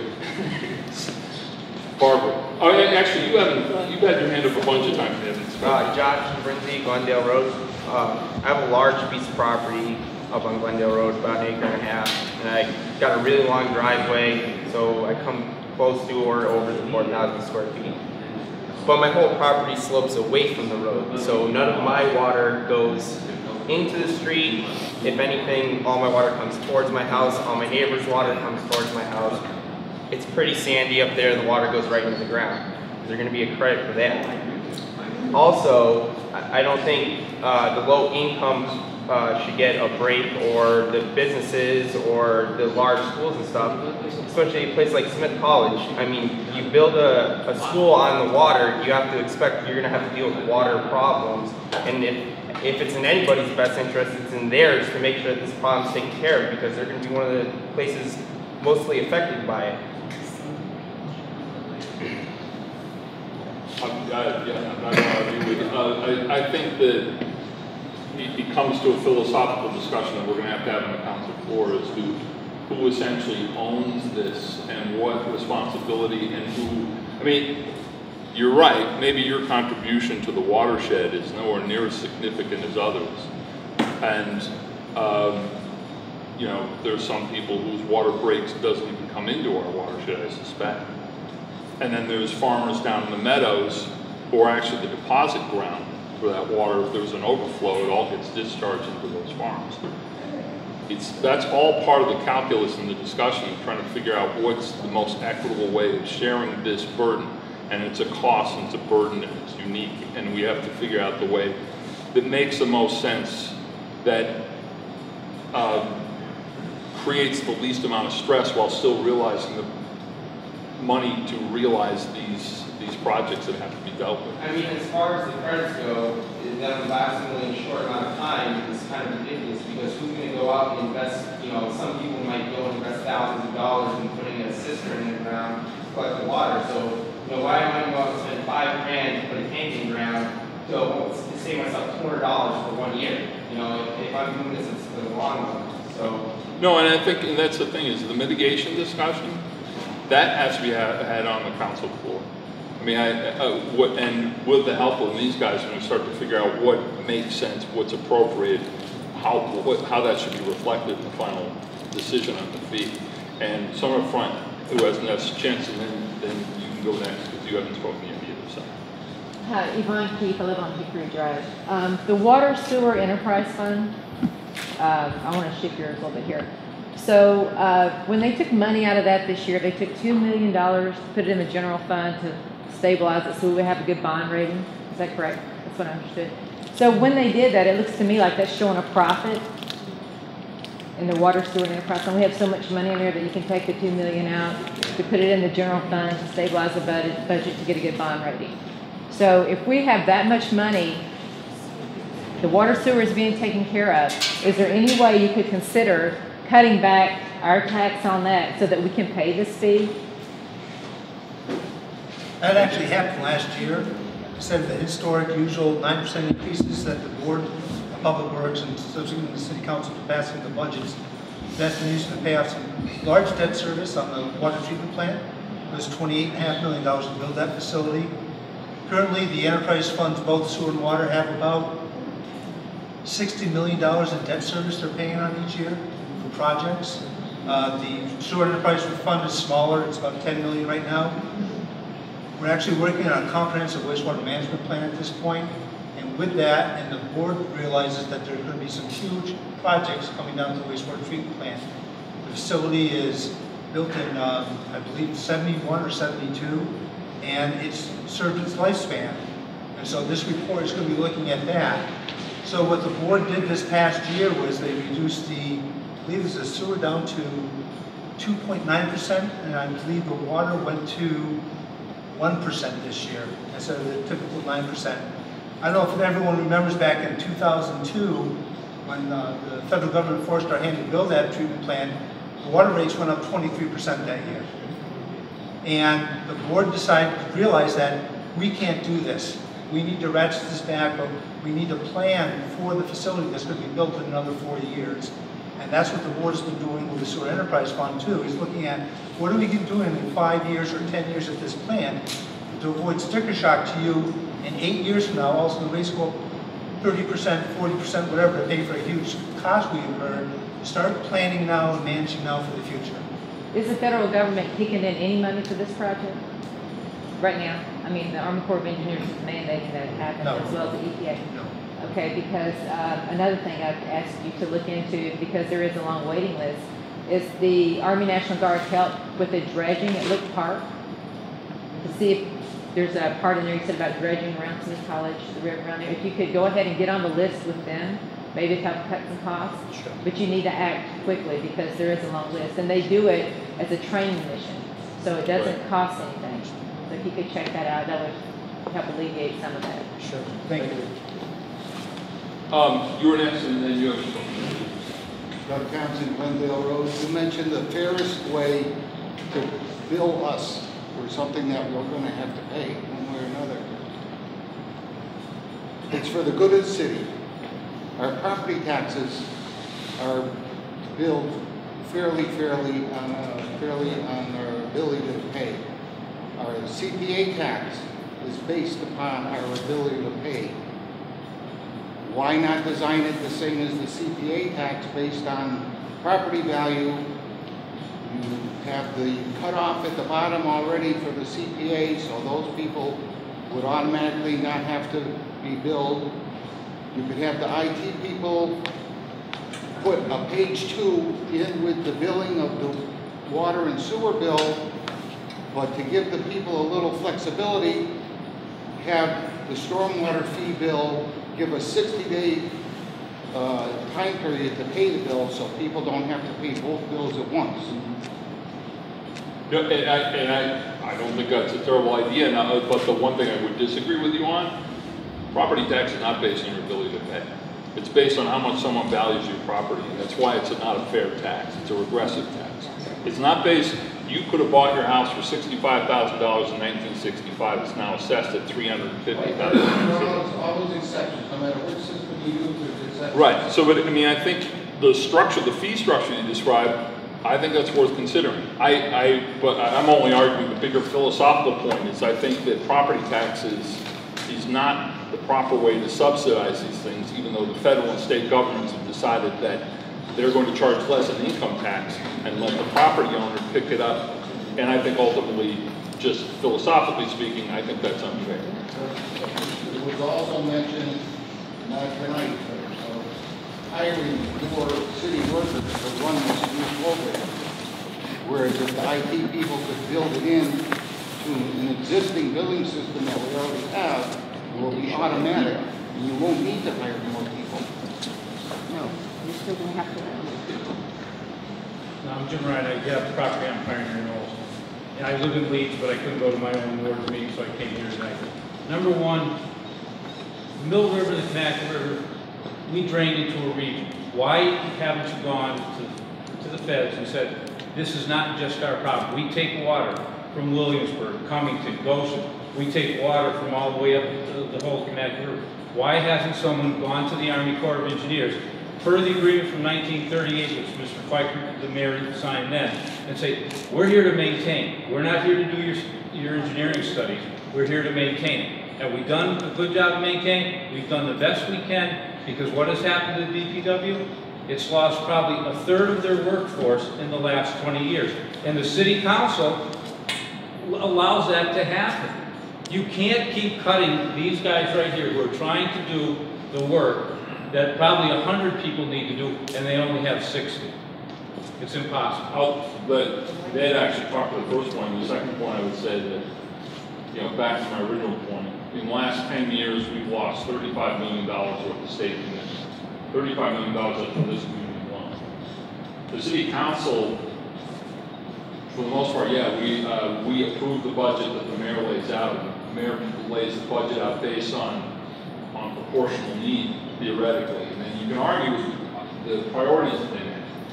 But point of fact, actually, it, it, it is, we find the frustration of being in city council is this is an untenable situation. It's, it's what we all face in our homes too.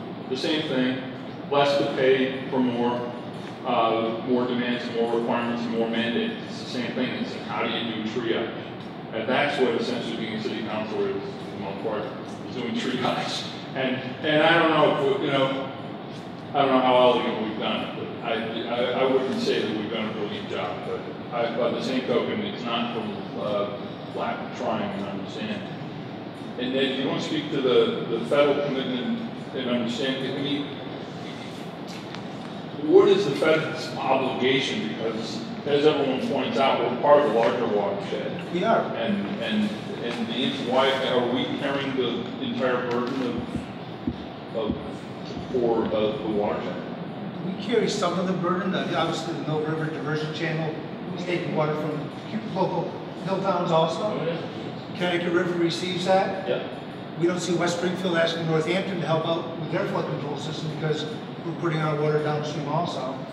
But the Mill River is a, is a pretty sound system. It doesn't have a pump station attached to it. The reason we have that pump station is because we need to pump water out of the city to downtown area. If, um, you know, if downtown was higher, or people didn't build that, we wouldn't worry about this system, but we have to.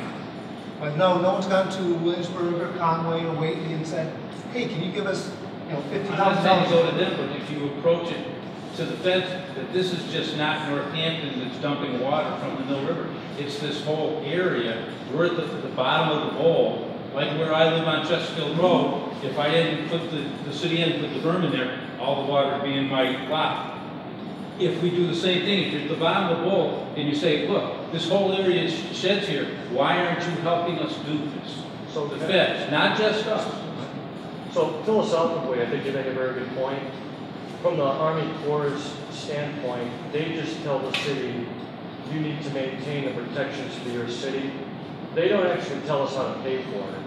And, and I think your point is, well, the water's coming from a lot of other towns, we should extend the need to get revenue as far as we can.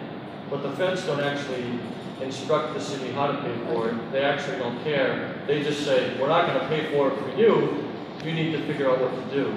So under, under the Mass General laws, the city of Northampton actually has no ability to incur a fee on other communities that dump water. That's why the federal government's gotta come. You have to go to them and say, look, we drain for a lot of people. We're, you designed the system, you put us, and you made it go around, when we get to that certain level, it's gonna flood us. Why aren't you doing, so like that one point two million, which was on the first page, which was for maintenance and engineering studies? Why aren't they paying for the engineering studies? They have an Army Corps of Engineers, you just say, here, you do it. No, you do it, you designed it. Just a side point, I'm really interested to know back in nineteen thirty-eight or thirty-nine, if the mayor and the city council actually had those conversations with the Army Corps. Yeah. Hey, I wasn't alive then. Yeah. Yeah. I just have two points. Um, my name's Patty Healy and I live on Longfellow Drive, and I live on a hill. So, you know, the rest of here can drown, and, but I'll be up there on my hill, but that's not really the way I think about it. I, I live in terror of a flood. I mean, I know the nurses who worked in the New York hospitals when New York City flooded. Now, you can say, oh, it's not gonna happen here, but we don't know when a disaster is gonna hit. And I think disaster preparedness is very important. And I think the city council is like trapped. They're between a rock and a hard place. They gotta do this, because the feds are saying, no money, we gotta do it. They set up the system, we don't like it. We don't like it, I don't like, I don't like the whole, you know, this one's gonna pay this much and this one's gonna pay that much. Frankly, I'm not gonna have to pay too much, you know? The one thing that I'm happy about though, is that the nonprofits have to pay. And when I saw that graph up there, property tax, how much we're all paying, the proposal on this fee, which granted, we don't wanna pay it, we don't want it, we gotta, we're gonna have to do it. We're paying it, we're tell, we're getting on it, we're gonna get money out of those nonprofits. They have to pay too. And I think, the- you know, for me, I'm looking at this like, I don't want a drown flood, I don't want my neighbors to, to float away. I don't wanna pay for this, but we have to, but at least everybody is gonna pay under this, this proposal. That's all. You've been waiting very patiently. Okay, um, I, and I don't want to downplay the teachers, the firemen, or the policemen, but we voted for our override. And they all kept their jobs, which was very, very good. I mean, we, we need our, our teachers, firemen, and, and policemen. But now, since we've done that, we've added more people um, to the teachers, firemen, and, and uh, policemen. I mean, what's going to happen if this all gets passed? Are we gonna have more and more money added on to this, our flood control and so forth? Is that going to keep happening? Well, that's, I, I, that, you know, and that's, that's, I think what Tony was asking too. Okay, can I have Sure. one more thing? I mean, we have lived here all our lives, and we go up and down Bryan Road, you know, three or four or five times a year. And other people must that have lived in this ward. Have you looked to see how many houses are for sale? Because people are fed up with paying more and more and more. And the, I mean, like, one of the houses we just saw got sold, people from Connecticut bought it. Wait until they find out what's going on, they're not gonna be happy. And, and, I mean, us, we're looking to move to northern Vermont. I mean, we just, we, you know, we can move to northern Vermont, get nine acres of land with a five-bedroom, three and a half baths for two hundred and ninety-nine thousand dollars. Nineteen thousand, nineteen hundred dollars a year in taxes. I mean, that, for us being senior citizens, that sounds good to us. Well, you know, it's, it I goes mean, we have to leave our families, but it sounds good. it goes back to my frustration and all of our frustration, I think, that we experience, we just experience in different ways in some sense, with putting the onus on property owners. Um, but that, that is the larger discussion, and, and, you know, as counselors, we don't have a lot of authority in the state. We don't get this, we do speak at the state. In fact, we've done a number of resolutions, we've gone to lobby Boston, we've, uh, we've been, the- Peter Kocot knows this full well, and he actually is on the side of it. He actually has proposed over and over again, the western part of the state actually carries a lot of burden for Boston. And the, you know, historically over time, politicians wanted to reduce income tax with the theory being that it would stimulate growth and then offset all these other issues that we described. That didn't quite pan out. But the consequently, uh, people look at income tax differently than look at property taxes. But property taxes are particularly burdensome because, as I said, it doesn't have any, there's no relevance to how what you can afford. It drives people out of communities. And this isn't unique to Northampton. You- In fact, actually, if you saw the Gazette had an article just recently, the western part of the state is going to lose the most significant amount of population. The reason we lost a congressman was because the western part of the state, people left for these same pressures. And your frustration is, I know it and realize and experience it myself personally. It's the same thing, this is part of the fight. It's not the fights, these are actually struggles that we have in the council as well. So what we, I mean, our job is to take the case to Boston and beyond, uh, but then at the same time recognize that we have responsibilities here on the ground. And, and we can't pretend, I- I- being ticked off isn't enough, unfortunately. Being ticked off isn't going to stop the rain from falling, isn't going to stop the pressures on the stormwater system.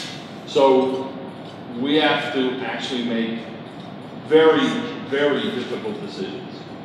And the reason we have these discussions is that we better do it with a full breadth and understanding of the pain that it actually exacts on the people that we're asking to help carry the burden. So uh, that's not an answer, I realize. Me, uh, I grew up in Amherst, so I'm more familiar with Amherst than only three. of You're forgiven. Yeah, I know, Forgiven. only three people that I know grew up there. It happens, people grow up in Amherst, that's. But uh, the town of Amherst receives funds from UMass in lieu of taxes. Do we have the same system with They Good receive, fun- they don't, you're describing what's called a pilot, a payment in lieu of taxes. And in fact, actually, Councilor Adams has been pushing for that rather hard, as Councilor LaBarge has as well in discussion. Uh, UMass doesn't actually, UMass pays into certain systems that they utilize. Smith, on the other hand, the same thing, they paid for a fire truck for us. Uh, and I think that's fine. It's, it's nice, except the fact is, I don't get to pick and choose what items I want to buy when I pay my taxes. But, that's, listen, the federal and state enabling law allows them not to pay a damn thing if they don't. So, there are discussions. There's a new president at Smith. Uh, the mayor has expressed a profound and keen interest on trying to get some more investment from Smith that we can use as our discretionary money, not Smith's discretionary. So that, yeah, believe me, it's being considered. It also, Amherst enjoys some more leverage in the fact that it's a state, UMass is a state entity. They don't share that same kind of uh, cooperation from Amherst College or from Hampshire College. So, just so important. Uh, who hasn't spoken yet? That answer, man. Um, My name's Chris Hellman. I'm actually from Ward 2, but the reason I'm here tonight is because, like Michael, I'm a member of the Board of Public Works, and I also served on the uh, Stormwater Task Force. Um, So I I come to these forums to get as much feedback, because we're still in discussion. And I heard a lot of really interesting comments tonight. There are only two points that I want to make. The first one is, and I wish Tony was still here, um, the mandate of the task force, we talked about $2 million a year and what it's going to cost and how much it's all going to be. We didn't really go into it with that. Our, the mandate the task force got from the city council was, was really quite narrow. What, what we were told to do was come up with uh, a system of paying for upcoming expenses that we would consider to be fair and equitable. And that was it. There really wasn't a budget in mind. So when we talk about how much is it going to cost, that wasn't really a, decision factor. I, I think the way Mike phrased it when he did his thing, when he did his presentation is, the numbers that you see here are based on a $2 million a year budget. The city council, with guidance from the Department of Public Works and the Board of Public Works, will at some point set this rate based on what it, I mean, it could be 1.5 million. What we know is it won't be more than 2 million because that's part of the statute that we've included. But it, it, it- it's a sliding scale and it's going to be based on the amount of work that we're going to do. Um, the second point I want to discuss is, is the role of Smith College in all this. Um, because we thought that that was actually a pretty important discussion. And Smith was actually represented on the task force. Um, I think one of the things that and, and one of the reasons that we knew right off the bat that we were going to go to a fee structure rather than funding it through the general fund was we wanted to include the big nonprofits. And Smith is obviously the biggest one. You saw there at the top of the food chain when it comes to what they were going to pay. Um, I think one of the things, and uh, unfortunately he left, the, point he made was that if you're going to build your house on a river, you ought to expect a flood.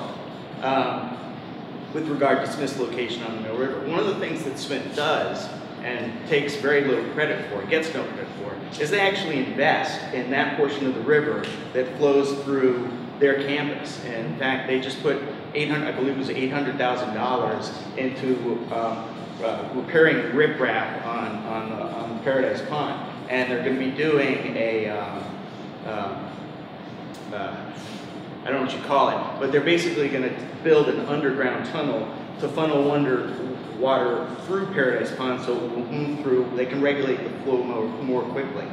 So um, one of the things that I think we need to keep in mind is that even though they don't pay taxes with regard to the stormwater thing, they're going to take a huge hit and they already do make a contribution.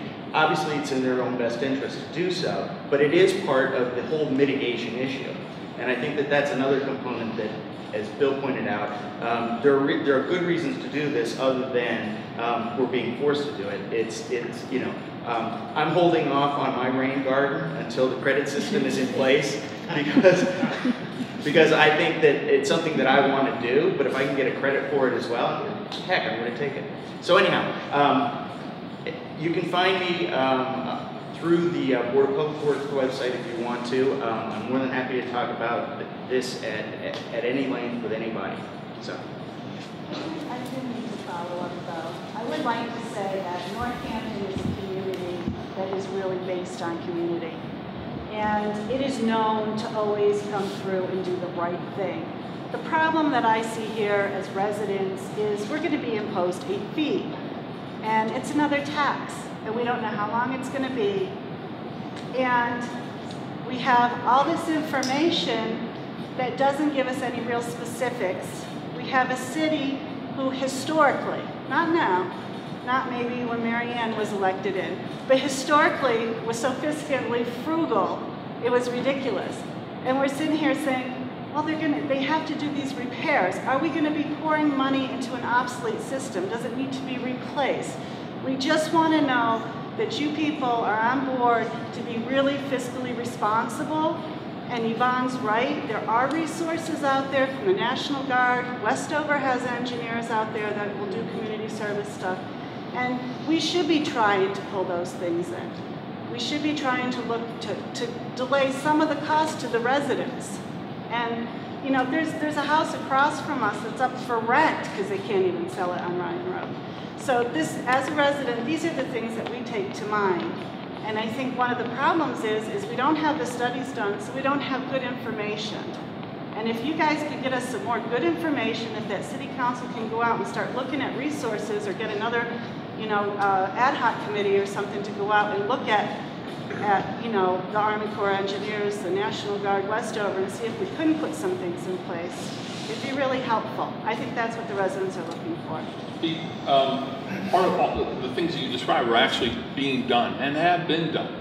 It's what Doug does. It's, it's what Jim does.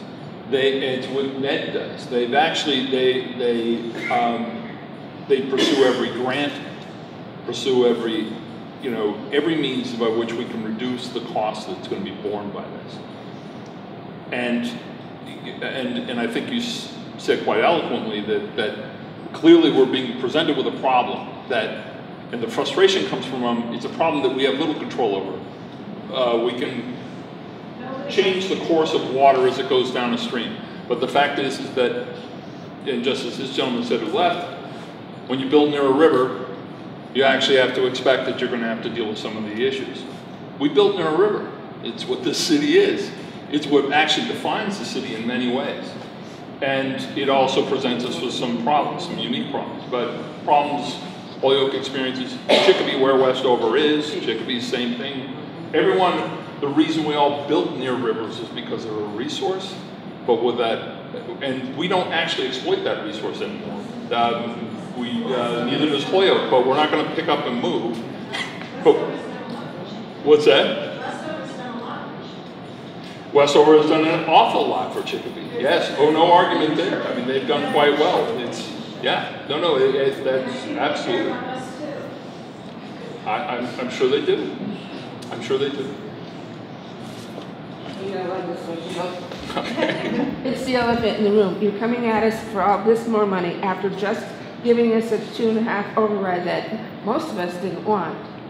Mm-hmm. When's the next one coming? Because we know in a week or two down the road, you're gonna have to come and say, we have to replace the barn at DPW. That's gonna cost how much money? Because it's hundred, what, twenty-five years old?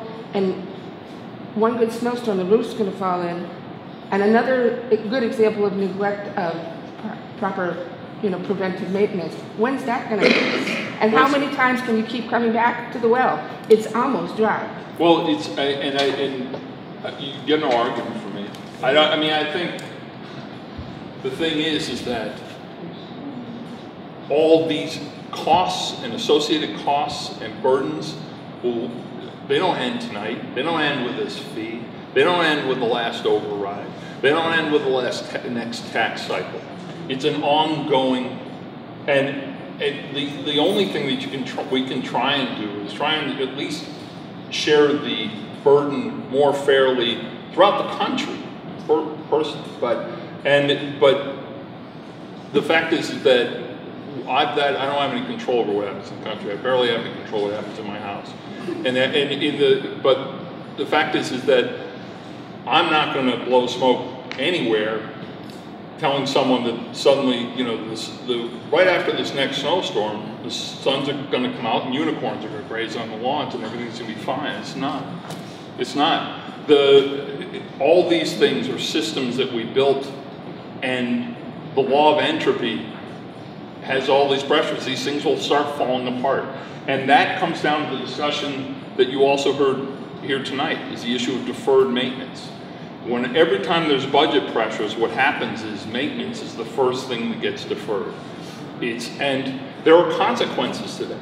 But it's also much harder to make a political case to somebody, and this is what these guys are asking for right now, is a, a, a, a you know, no longer to defer maintenance, but an ongoing maintenance system that will maintain integrity as opposed to a one-hit fix, which Tony described as possibly happening going down the road. And I, I think philosophically it's appropriate to commit to these projects and pay for them over time and maintain them properly. But for instance, when you come to ask for an override, you're not asking for maintenance. People won't vote for that. They'll vote, for the most part, actually the biggest override passage was the rebuilding of the high school, which is 75% of the community voted for that because was a bricks and mortar uh, system that had a finite end to the, to the debt. But the problem is, the reason we had to rebuild the high school in large part was because of deferred maintenance. There was a big cost at the end of the, at the end of the thing. So it, again, it's, it's budgetary philosophy that comes down. So when's the next override? I don't know. The, I know that we worked very hard, and the mayor worked very hard to make sure that, that we don't even consider an override in four years, for four years. So that that was built into this last override. The override structure, and this will be my last point on this, Proposition two and a half was built to fail. It was designed to fail. It's called two and a half because it was only going to attach two and a half percent increase, knowing that the rate of inflation, the cost of living, was three percent on average. They knew the idea was, and this was the whole part of the debate, because once upon a time, city councils and mayors could just say, well, we need to do this, so we'll just tax more. They set up a system so that the city would have to go and ask the citizens, is this a worthwhile investment each time? And they would vote in, in and the majority would decide whether it was an appropriate expenditure of funds. Somehow, now Proposition two and a half is considered to be a failure. If you're doing an override, that's an expression of failure of, of bad fiduciary management. But point of fact, actually, we rate very highly in fiduciary management. We got a great uh, bond rating as a result. But that, that doesn't matter because, as you said, when it comes home, it's, what counts is when you go home and you open up the envelope, it's got the bill that says how much you got to pay and what that means to you. And so that's where the huge disconnect has always occurred, and it's where I think arguably the council has failed in some point, uh, trying to at least express that candidly and clearly. And, but I, so the short answer is with every hope in every fiber of my being, I hope we never have to ask for another override, but I don't think we'll see one for at least four years for uh, fiscal management. And if the economy grows and improves and we actually start to realize some more revenue, maybe longer. Bill, you should talk about Pamela Schwartz, she's got that meeting coming up community, um. Oh, well, well, Pamela Schwartz is actually wants to, is asking for the community to get engaged in a conversation to take it to Boston to require and call for a more progressive tax, a tax based on income as opposed to based on property. To take the onus off the property tax owners. So if you want more information about that, we can get that for you. John? Yeah, I think what everybody's describing is a philosophy called the Tiebout effect. Tiebout was a planner, and he had worked on this back in the 50s and discovered that, sure enough, the municipality continues to raise taxes and fees on the residents, the long-term residents. Sooner or later, those residents are going to decide it's time to pick up and leave because they can no longer afford to live in that town or city. So that's a, an effect that's been around for a long time. It has been, it- and it- it's what creates gentrification, it's what creates gated Yeah. communities and things like that. But on a different note, a little earlier, we were talking about, I'm, I'm kind of curious, how the rationale for limiting the uh, acreage to just one acre. If, for example, someone owns 27 acres of land, I think was the example somebody used, why is it we're just taxing them on, or feeing them on, on the, in the formula, on the one acre? I think that was a a decision of a task force, And the, the way they, the reason they made that decision was because if you have a large, if you own, say you own 50 acres of land, if you don't limit it to some small amount, the people with the largest pieces of land that are undeveloped would get the largest bills. And I think the task force felt that that wasn't fair, and that it was more important to have more of the fee related to the amount of impervious area. So if you're a car dealership or a large business that has a large parking lot and you're making money and you're having the most impact on the stormwater system, your fee should be the highest, not the person that owns 50 acres of land in, in Florence. They just felt like that wasn't, that wasn't fair. And so they decided to shrink that to one acre. And when they looked at the, the table of the bills, they felt that it was fair and they voted to approve that. Can I just say, if you look at College tuition room that sixty-two thousand is just a little bit more than probably one kid's scholarship. I think when you get down to the fees, they actually are pretty fair. I mean, they're not gonna bankrupt us. I think the problem is, again, it's, it's another tax that's gonna be on for we don't know how long. And that's, that's what's not feeling good, because when you get a two and a half override, it's two and a half forever. Now we got fees coming on that sound like they're gonna be there forever, and two million sounds like a lot a year. And we don't have any clue of really how it's gonna be spent, because we haven't got the studies done yet. Well, and as you pointed out, the cost of this, and as you laid out, is to develop the studies and review and analyze what it is that needs to be addressed. So we can keep discussions going. Right, but I mean, and, and the thing is, is that if we don't establish this, they don't get that money to do those studies. It's, you know, it's, but, yeah, I got your point. Are there, uh, are there any other questions? I mean, I'll stay until you want me to go, and, or you kick me out, but I, these guys are actually on the clock. And I don't know if, No, no. so if you have actually any no. questions, you, you might not, but it, yes, ma'am. Double time or time and a half? My name is Pat and I live on uh, 521 West Street Road. I want to thank all of you for doing this tonight.